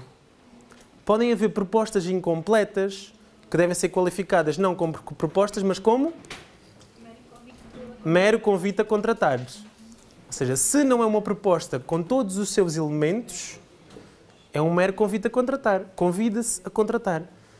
Demonstramos interesse de que haja a celebração de um contrato futuro, mas ainda não nos vinculamos através de uma proposta. Porquê? Porque uma proposta é irrevogável. Por isso é que se vocês não têm a certeza que querem efetivamente celebrar o contrato, nunca fazem uma proposta. Fazem um mero convite a contratar. Se preferem realmente ou se pretendem efetivamente celebrar o contrato, então aí fazem uma proposta. Uma proposta que contenha todos os elementos necessários efetivamente. Ver se chegava aqui tenha todos os elementos necessários à validade negocial enquanto proposta. Como é que fazemos isso? É fornecer todos os elementos necessários a que a contraparte conheça os termos do negócio que queremos celebrar. Por exemplo, se eu quero comprar o telemóvel à vossa colega, eu chego ao pé dela e digo-lhe: Olha, eu quero-te comprar esse telemóvel e dou-te 100 euros por ele, vendes. Esta proposta é firme o suficiente e é completa o suficiente para, se houver aceitação, se formar contrato. Porque o que nós queremos é saber exatamente quando é que se forma o contrato. E o contrato forma-se, efetivamente, quando eu recebo a aceitação. Porquê? Porque tanto a proposta como a aceitação são declarações recipiendas, ou seja, que têm que ser recebidas pela contraparte ou do seu conhecimento para produzir efeitos jurídicos. Hum? Houve muitos hum. Houve demasiados hum. É que nós não demos isso. É o que está no artigo 217. É. E seguintes. Ok? Então, se não deram isso. Não, isso foi dado, não foi feito tão aprofundado. Imagina, mas nesse eu não estou a aprofundar. Foi dado de outra forma, pronto. As pessoas também são diferentes. Sim. levar Não, se fosse para, sim, se fosse para aprofundar, eu estava-vos a falar da irrevocabilidade e da forma de revogar propostas e aceitação, que aí vocês têm que estudar por vocês próprios, não temos tempo. É mais três horas. Quanto à forma, podemos falar sobre formalidades. Ahm, se vocês quiserem. Tanto que eu ia-vos falar de uma coisa muito importante e que eu, que eu bato muito nesta tecla, porque todos os estudantes de teoria geral têm que, têm que saber isto. Que é o silêncio como declaração negocial. Qual o valor, se eu chegar ao pé da, da vossa colega e disser compre-te o teu telemóvel por 100 euros. Se ela ficar em silêncio e não disser nada, ela aceita ou não aceita?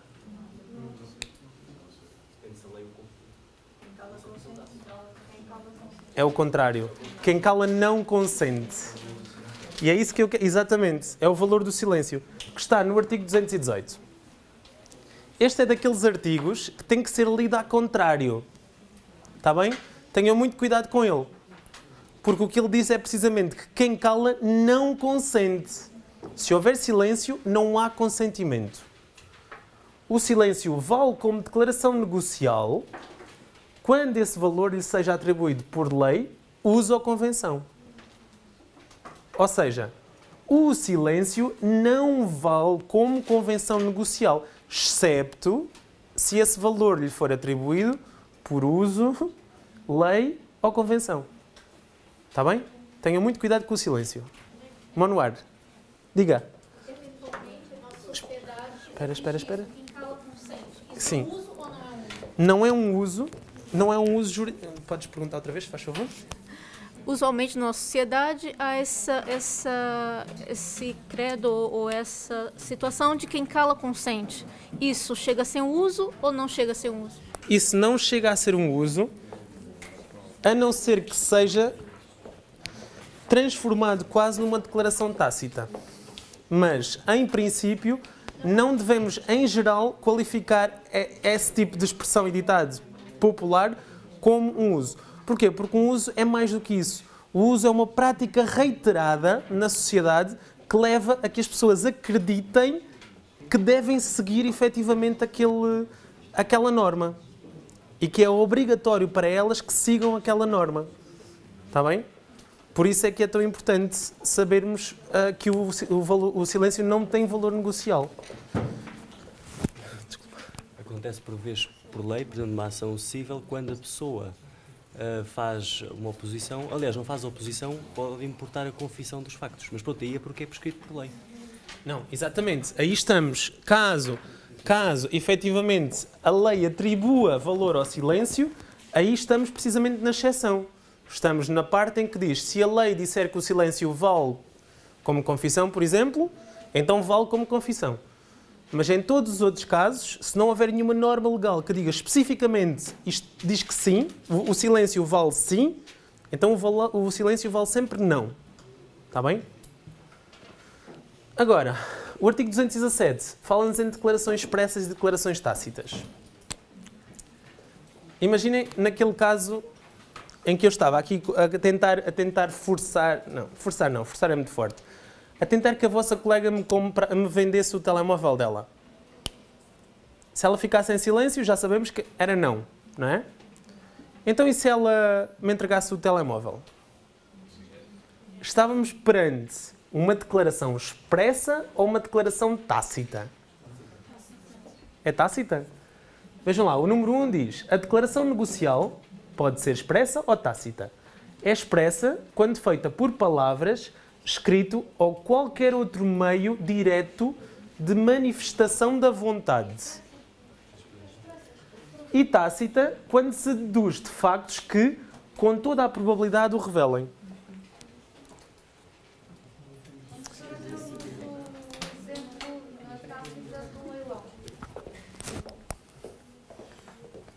Foi-nos dado o exemplo de um, de um leilão na Tácita. Isso é expressa. É expressa? É expressa. Ah, então eu fiz confusão. Pois, é declaração expressa. Num leilão, se alguém colocar a mão num- em cima num leilão, é uma declaração expressa em de como querem, em que querem licitar. A mesma coisa, se a, vossa, se a vossa colega me disser sim, é expresso. Se a vossa colega me fizer assim com a cabeça, é expresso. Se a vossa colega me entregar o, o telemóvel, também é provável que seja expresso. No entanto, se a vossa colega se virar para o lado e disser: Olha, vou receber 100 euros, compre-te compre o teu telemóvel por 90. E isto? É silêncio ou é declaração? Qual? Tácita. Porquê? Porque através de um comportamento diferente da aceitação, nós podemos inferir que ela quer aceitar ou que ela aceitou. Exatamente. Esta é a distinção entre declaração expressa e declaração tácita. Sim? Então, sabem o que é uma presunção legal? Só. Lembram-se do que é uma presunção legal? Há demasiado calor, só para quem está a ver-nos, há demasiado calor na sala e, e toda a gente se está a querer deixar dormir, mas há alguém bravo, muito bravo, muito bravo, que nos vai responder, que nos vai responder e vai nos dizer efetivamente o que é uma presunção. Pode-nos dizer o que é uma presunção? Presunção, primeiro. Uh, pres- Presume-se. Exatamente, ou seja, Presume-se. São ilações. Ilações tiradas, efetivamente, que normalmente decorrem da lei. Não é? Está presente até no artigo 349, onde podemos ver a noção de presunção, que diz: presunções são as ilações que a lei ou o julgador tira de um facto conhecido para afirmar um facto desconhecido. Ou seja, porque alguém, por exemplo, vendeu um telemóvel, presume-se que essa pessoa agora tenha dinheiro suficiente para, para, para pagar a um outro credor. Presume-se. Mas a colega queria-me fazer uma pergunta, não era? Já agora, com licença. Em relação a essa questão, nós podemos eh, juntar o artigo 68 como comoriência? Exatamente. A vossa, a vossa colega deu, uma, deu um exemplo muito bom de presunção legal. No caso do artigo 68, número 2, existe uma presunção legal de comorriência. Se não sabemos quem é que morreu primeiro, presume-se que as duas pessoas morreram ao mesmo tempo. É a própria lei que faz essa presunção. Mas, tal como todas as outras presunções, ou pelo menos a sua maioria, podem ser elididas. Ou seja, caso seja provado que não aconteceu assim, então nós levantamos a presunção e o que se tem em consideração é a verdade. É aquilo que foi efetivamente provado. Mas a colega queria perguntar outra coisa. É, Projeta nós, a voz, só para, eh, para ouvirmos todos. Sim, nós estamos com a dúvida em relação à, à declaração expressa e tácita. Certo. Acho que na nossa. Se nos puder explicar novamente, que nós temos indicações que não estão. É? Então, e qual é que é a vossa distinção, a vossa dúvida em- em- na declaração expressa e na declaração tácita?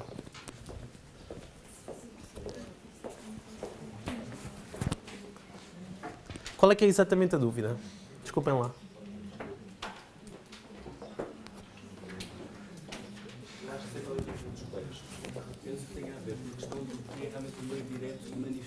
Ah, meio, é, tem a ver com o meio direto de manifestação da vontade? Ok, em geral, em geral, a melhor forma de distinguir entre a declaração expressa e a declaração tácita é se, através daquele comportamento, por palavras, por atos, ou talvez até por, por omissões não, não é? Mas por palavras, por escrito, por atos, etc., se podemos diretamente perceber que há uma aceitação, ou se é através de um outro comportamento diferente que podemos ou não inferir aceitação. Ou seja, vamos, vamos testar várias, várias coisas para sabermos se é uma aceitação tácita. Aqui com a vossa colega, ela é sempre traumatizada, eu uso-a sempre nas minhas aulas, não é?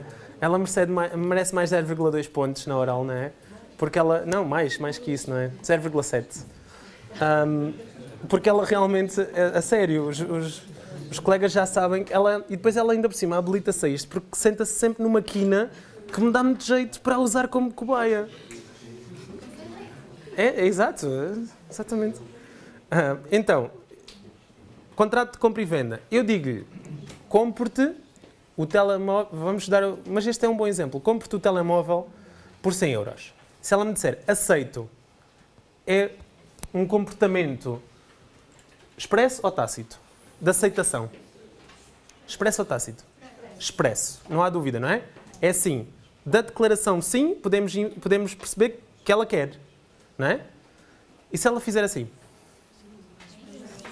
É expresso.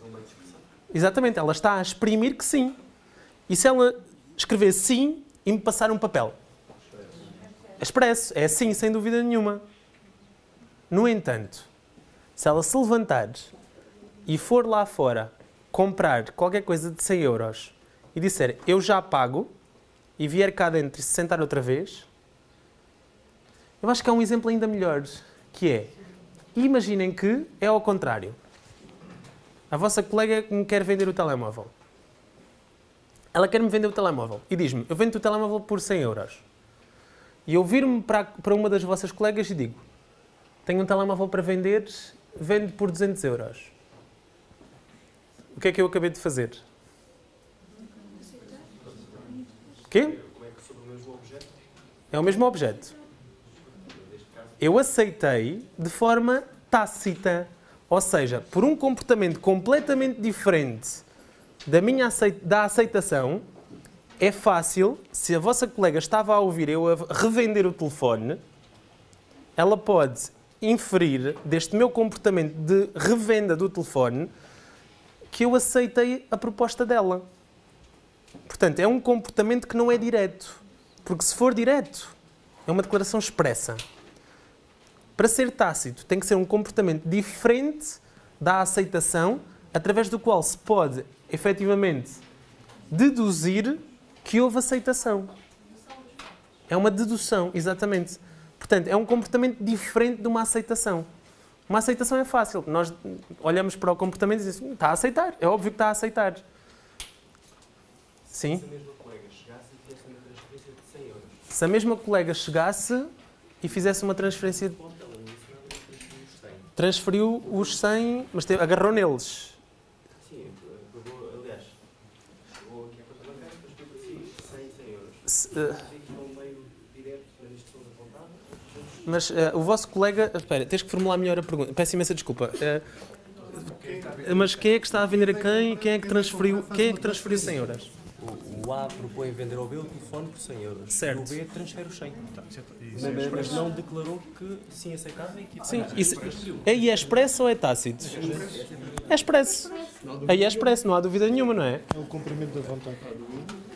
Ainda que o. Com... Não, não, não, não. Ah, mas O que eu vos ia perguntar aí. Calma, o que eu vos ia perguntar é. Ouviram aqui a hipótese do vosso colega? O vosso colega perguntou. Imaginem que a, a- a- a vossa colega me, me diz: Vendo-te o meu telemóvel por 100 euros. E eu não lhe digo nada, simplesmente transfiro o dinheiro para a conta dela. Transfiro 100 euros para a conta dela. Esta, podemos ver esta, declara, esta manifestação de vontade como expressa ou tácita. Mas dá para afirmar, podemos, reti- podemos retirar diretamente um sim, um sim dali, ou é um comportamento diferente da aceitação que nós podemos ver como aceitação. Essa é a diferença. Para mim também é tácita.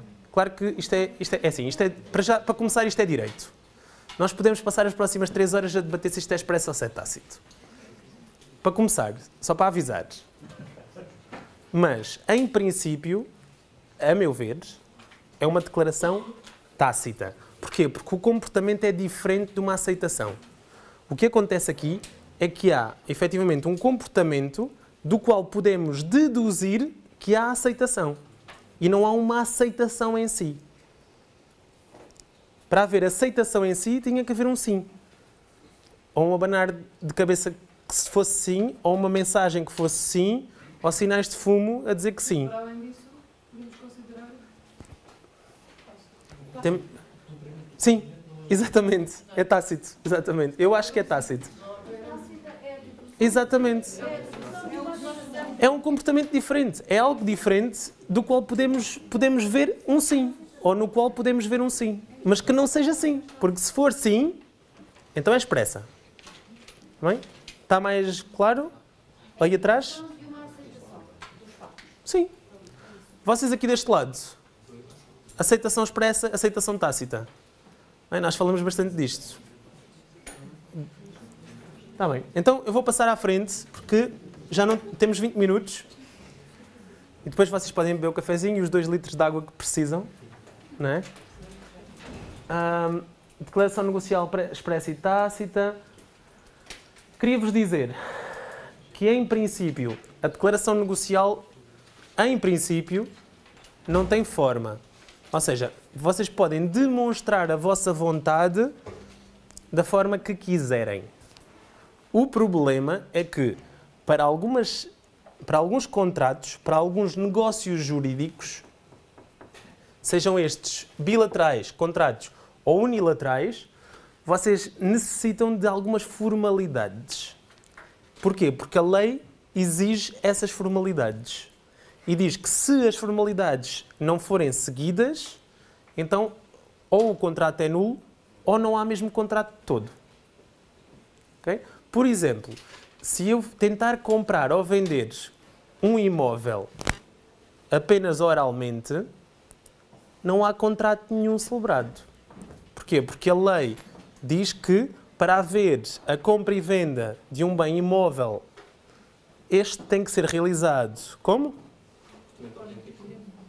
Escritura pública ou documento particular? Exatamente. Portanto, essa é uma forma legal. É uma forma exigida, efetivamente, pela lei para a produção de efeitos jurídicos.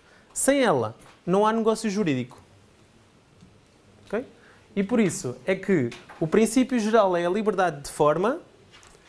No entanto, quando a lei diz que naquele caso concreto ou para aquele negócio jurídico concreto não há liberdade de forma, então têm que ser seguidas as formalidades que a lei diz. Conseguem-me dar um exemplo de um contrato extremamente formal? Casamento. O casamento é o contrato mais formal que existe. Porquê? É necessário um verdadeiro ritual para que ele seja celebrado de forma válida. Não é só chegar lá e, e, e assinar um papel. Não. Conservadores têm que dizer aquelas palavras, os nubentes têm que responder aquelas palavras, e se não for seguido a cerimonial correto, pode haver ali problema de forma. O quê? Não, diga, diga. Esses comentários são, são sempre bem-vindos. Vamos lá. Vamos. Sem medo. Não, eu estava a dizer, concordo consigo. Não foi isso que disse. Bem, a verdade é que depois de terem direito da família, muitos de vocês vão pensar três vezes antes de se casarem. Eu sei, eu percebi, eu percebi. Mas isso é só para o ano. Ou já têm família? É só para o ano. Só para o ano é que vão começar a pensar. Hum, se calhar isto do casamento. Hum, separação de bens. Exato. Vocês ainda são novos, aqui do meu lado direito, mais novos. Mais no... Não, mais novos. Ainda.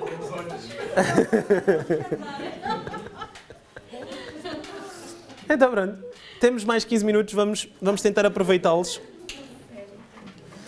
Seguindo aqui, eu vou, eu vou, passar à frente porque senão isto é, é muito. O problema é que é, é muita coisa. Representação, como é que estamos? Têm dúvidas quanto à representação? Tem? Dúvidas quanto à representação? Representação. Não?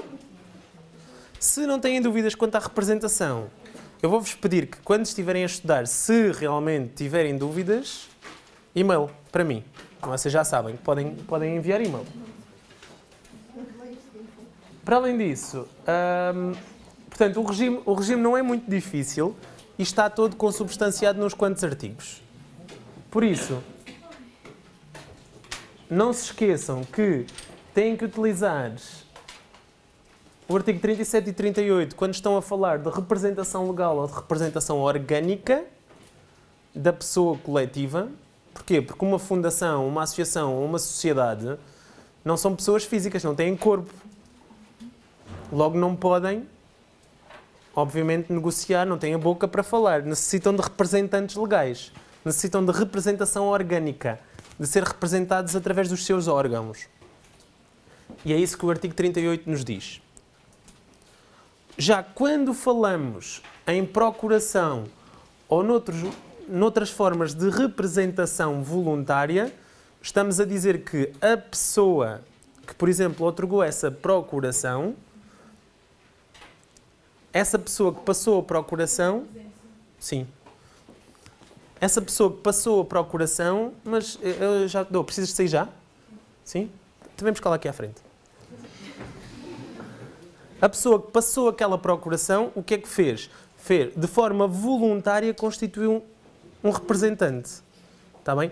Portanto, a representação legal ou orgânica é diferente da representação voluntária, porque a representação voluntária baseia-se num ato voluntário da pessoa que quer ser representada. E por isso é que as regras também são ligeiramente diferentes. Ligeiramente não, são bastante diferentes. E é precisamente nesta representação voluntária que depois se podem dar vícios na própria representação ou abuso de poderes na representação. Está bem?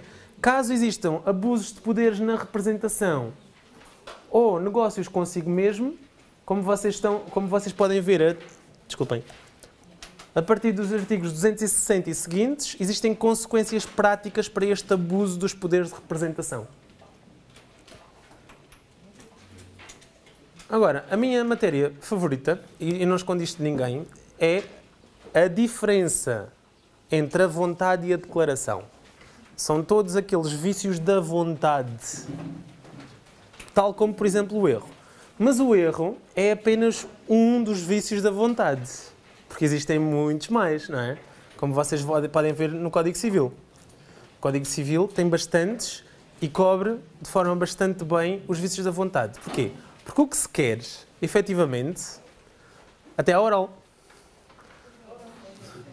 O que se quer, efetivamente, é que a vontade declarada seja a mesma que a vontade da pessoa. Aquilo que a pessoa está a pensar, que seja igual àquilo que declarou, àquilo que disse.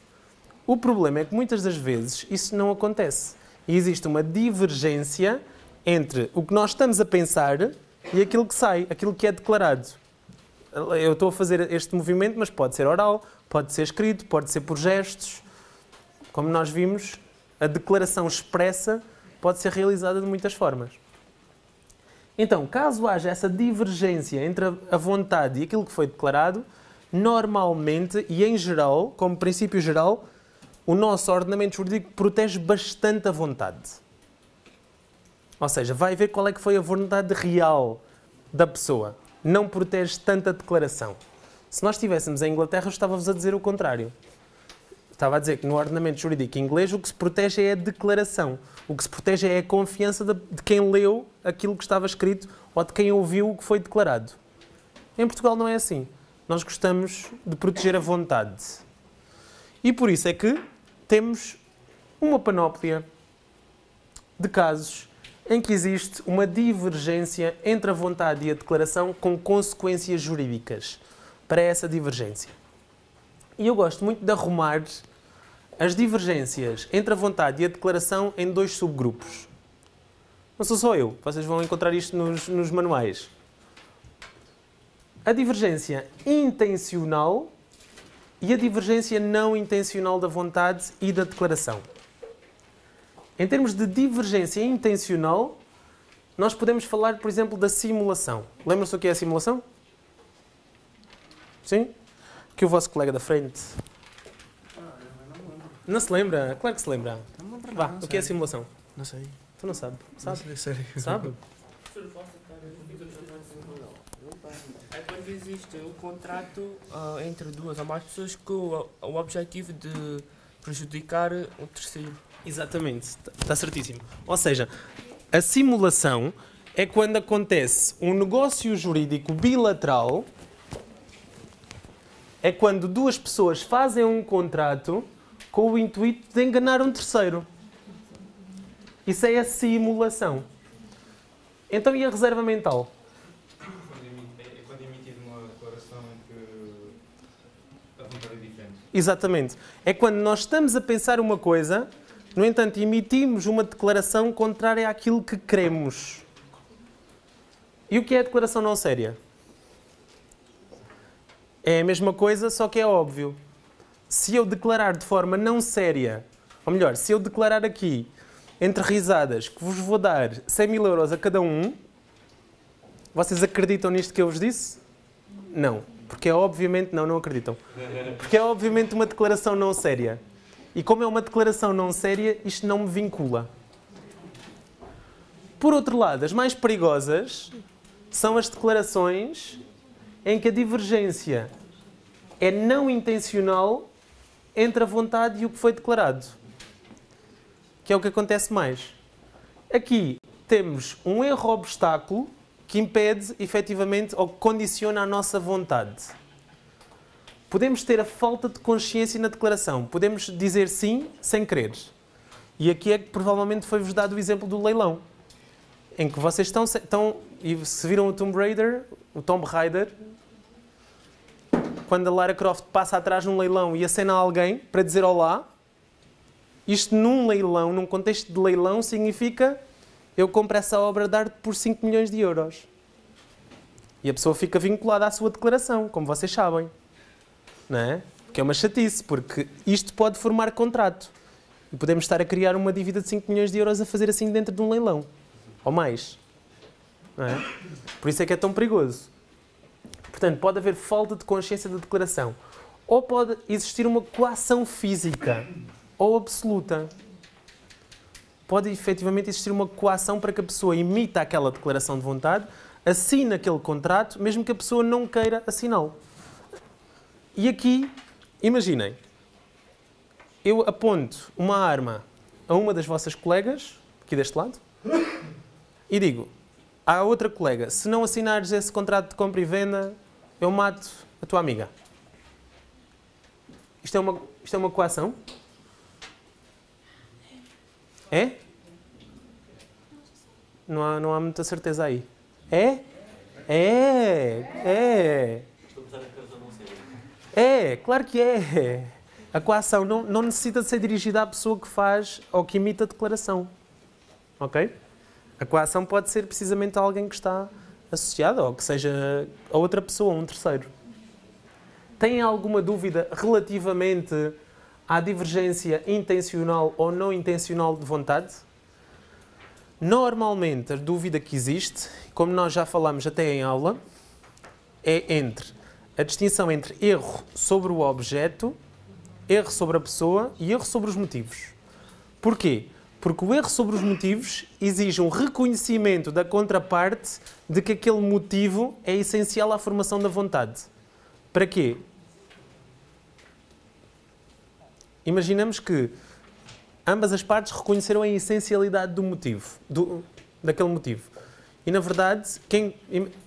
Outra vez o contrato de compra e venda. Já que estou a traumatizar a vossa colega, vamos traumatizá-la até ao fim. Última aula, não é? Oh, só mais hoje. Depois é só oral. então, imaginemos que eu e a vossa colega celebramos um contrato de compra e venda do telefone dela, mas eu digo-lhe, é assim, atenção, eu preciso mesmo que esse telefone tire fotografias. Eu só estou a comprar o teu telefone porque preciso de tirar fotografias e de fazer vídeos da Tuna académica, aqui do IPBeja. E a vossa colega diz-me, sim, sim, este telefone tira excelentes fotografias. E filma, e filma. Eu compro o telefone. Vou tirar a primeira fotografia, o que é que acontece? Não tira fotografias. Nem filma. O que é que eu posso fazer relativamente a isto? É o quê? Afirma-se que é eu e neste caso. Qual, qual dos erros? É um erro sobre o objeto? É um erro sobre aquele telemóvel? Ou é um erro sobre os motivos que me levaram a celebrar o contrato de compra e venda? É sobre os motivos, exatamente. Neste caso queria mesmo aquele telemóvel. Exatamente. É sobre os motivos. Porquê? Porque eu queria comprar aquele telemóvel. Eu queria aquele. Eu não queria outro telemóvel. Eu não me enganei no telemóvel. Eu queria aquele telemóvel. Mas eu queria que aquele telemóvel tirasse fotografias. Eu comprei-o porque achava que aquele telemóvel tirava fotografias. Mas aquele telemóvel que eu queria comprar não tira fotografias. Eu estava em erro sobre os motivos que me levaram a celebrar o contrato de compra e venda daquele telemóvel. E como eu estava em erro sobre os motivos que me levaram a celebrar o contrato de compra e venda daquele telemóvel que eu queria aquele e não outro, queria aquele, como este erro foi reconhecido pela minha contraparte, então o que acontece é que, qual é a consequência? O que é que eu posso fazer? Anular um negócio. Eu posso solicitar a declaração da anulabilidade do negócio jurídico com base em erro sobre os motivos. Mas só se a outra parte concordar. Não, só se a outra parte concordares? Não, não, não é isso que eu estou a dizer. No erro sobre os motivos tem que haver uh, consentimento das duas partes sobre o motivo. Tem que haver reconhecimento das duas partes de, da essencialidade do motivo. Não de que houve um erro sobre o motivo, mas da essencialidade do motivo. Não, tu estás a pensar bem. Tu estás a pensar bem.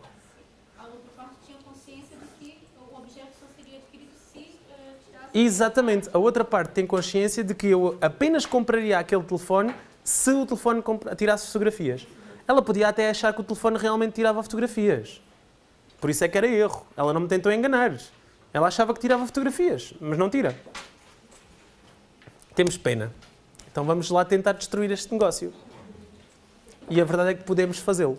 Precisamente com, com base no erro sobre os motivos. Como é que seria um erro sobre o objeto? Ah, por exemplo, se alguém fosse a uma loja e perguntasse ao funcionário que queria um telemóvel com determinadas funções, o funcionário não desse esse telemóvel. Aí era sobre o objeto. Ou seja, era um erro sobre o objeto. Se eu quisesse comprar aquele, o telemóvel que está ao lado deste e comprasse este por erro, sem querer, compravam um objeto diferente daquele que eu realmente queria. Só aí é que estávamos no âmbito do erro sobre o objeto e não do erro sobre os motivos. Isto mais ou menos é perceptível? Vocês percebem isto? Sim? E o erro sobre a pessoa? Como é que funciona o erro sobre a pessoa? Como é que é possível ter um erro sobre uma pessoa?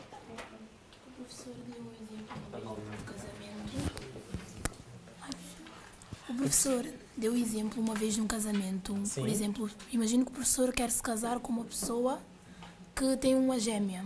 Sério? E, eu, e o professor engana-se e casa-se com a irmã da pessoa.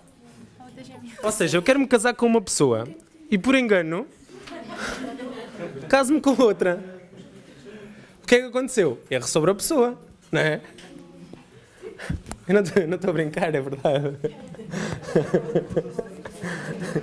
Claro que isto é, isto é um exemplo extremo para vos fazer compreender o exemplo, não é? Mas sim, é diferente. Aqui seria um erro sobre a pessoa. Também seria um erro sobre a pessoa se eu quisesse comprar alguma coisa à vossa colega, mas por erro comprasse à colega do lado. Também era erro sobre a pessoa. Mas o exemplo de casar com uma pessoa diferente tem mais piada. Claro que aqui podíamos estar num erro sobre os motivos. Se, por exemplo, eu me tivesse casado com alguém que eu achava que era muito decente e uma excelente pessoa e depois viesse a descobrir que afinal não era assim tão boa pessoa quanto isso. Cometia crimes no passado, tudo no passado. Tinha, tinha uma conduta muito, duvida, muito duvidosa. Aí não seria um erro sobre a pessoa. Aí seria um erro sobre os motivos que me levaram a casar com aquela pessoa. Outra coisa, só para finalizar, muitíssimo importante, é o regime do erro só se aplica se a pessoa estiver em erro no momento do contrato. Ou seja, não pode haver uma divergência no futuro. Se a divergência acontecer no futuro, não estamos perante o regime do erro. Estamos perante uma possível alteração de circunstâncias. Ou seja, eu comprei o telemóvel e o telemóvel tira fotografias durante 5 dias. Passado 5 dias, o telefone estraga-se e deixa de tirar fotografias. Eu aqui não estou perante um erro. Aqui, exatamente, aqui existe precisamente, o que é que existe? Existe uma deficiência do produto, da qualidade do produto. Ou pode mesmo ter-se estragado no, futuro, momento futuro à celebração do contrato. Mas não podemos aplicar o regime do erro. Ok? Por isso é que eu tenho aqui os vários tipos de erro. O erro de cálculo ou de escrita é fácil. Basicamente, o regime geral é que diz que nós podemos alterar, alterar aquilo que, aquilo que foi escrito ou calculado em erro.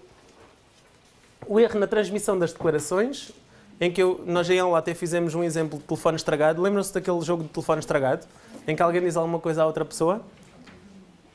Quando chegou ao final da sala, era a mesma coisa que eu tinha dito no início? Não, nunca é.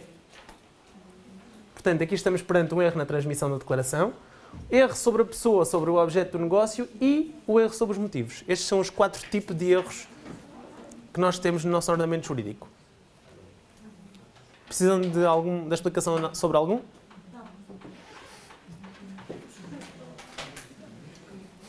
Ok. Objeto imediato e objeto im- imediato. Têm dúvidas? Lembram-se disto? Lembram-se? Objeto imediato e imediato. Sim? Não há dúvidas? Não, eu estou a perguntar a sério. Podem responder sim ou não. Não há dúvidas. Ok. Perceberam a parte do objeto imediato e imediato? É que ninguém me responde. Deram isto? Deram? Perceberam?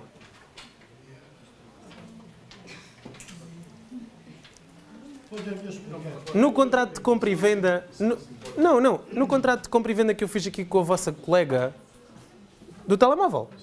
Qual é que é o objeto imediato e qual é que é o objeto imediato? Isso é o? Imediato, exatamente. E o imediato? O- E o imediato, desculpem, desculpem, o imediato. Não é a aceitação. É o direito de propriedade. Não é? Ou seja, o que é que eu quis fazer com a celebração do contrato de compra e venda? Foi adquirir o direito de propriedade ao telemóvel. Qual é que é o, o, qual, qual é que é o objeto mediato sobre o qual o direito que eu quis imediatamente receber versa. É o telemóvel. Por isso é que o direito de propriedade é o objeto imediato do contrato e o telemóvel em si físico é o objeto mediato do contrato.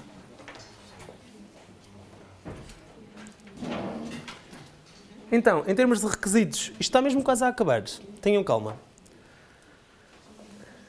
O objeto do negócio jurídico, os requisitos do objeto do negócio jurídico encontram-se no artigo 280, que nos dizem que é nulo o negócio jurídico cujo objeto seja físico ou legalmente impossível, contrário à lei ou indeterminável. Portanto, se eu vos tentar vender a Lua, mesmo que vocês me paguem 5 milhões de euros e que nós tenhamos feito este contrato de compra e venda por escritura pública,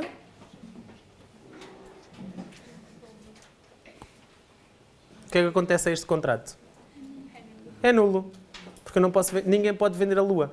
Não está na disponibilidade do comércio jurídico. Não pode ser transacionado entre as partes. E como não pode ser transacionado, é nulo. O quê?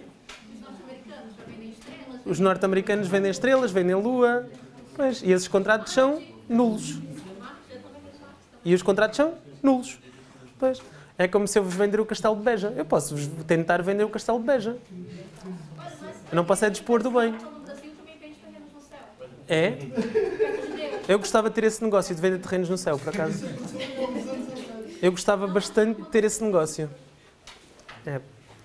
Mas como, mas sim, mas ela até já é ministra, por isso pode fazer o que quiser, não é? Não? Ah, é de outra diferente. Eles são todos amigos, exato, eles são todos amigos, não, não tem problema nenhum. Eles conhecem-se todos. Eles, eles comem todos pitangas com Jesus juntos, não é? É pitangas? É pitangas? É pitanga, pois. Então, já agora, fins, con fins contrários à ordem pública ou aos bons costumes, também não vai correr bem, não é? Este é, este é o exemplo clássico de Imaginem que eu arrendo, eu arrendo um imóvel a um de vocês, que, para vir aqui junto ao IP Beja, para vir estudar para o IP Beja. Sou proprietário de um imóvel aqui ao lado do Politécnico. E vocês começam a utilizar o imóvel para para festas privadas ou para o narcotráfico. Vá, não vamos por aí. Já, já tivemos nessa fase. Agora vamos ao narcotráfico, está bem? Para não ser sempre o mesmo exemplo. Não pode ser sempre o amor, tem que haver também outros exemplos. Vá, vá, narcotráfico. Compra e venda de droga.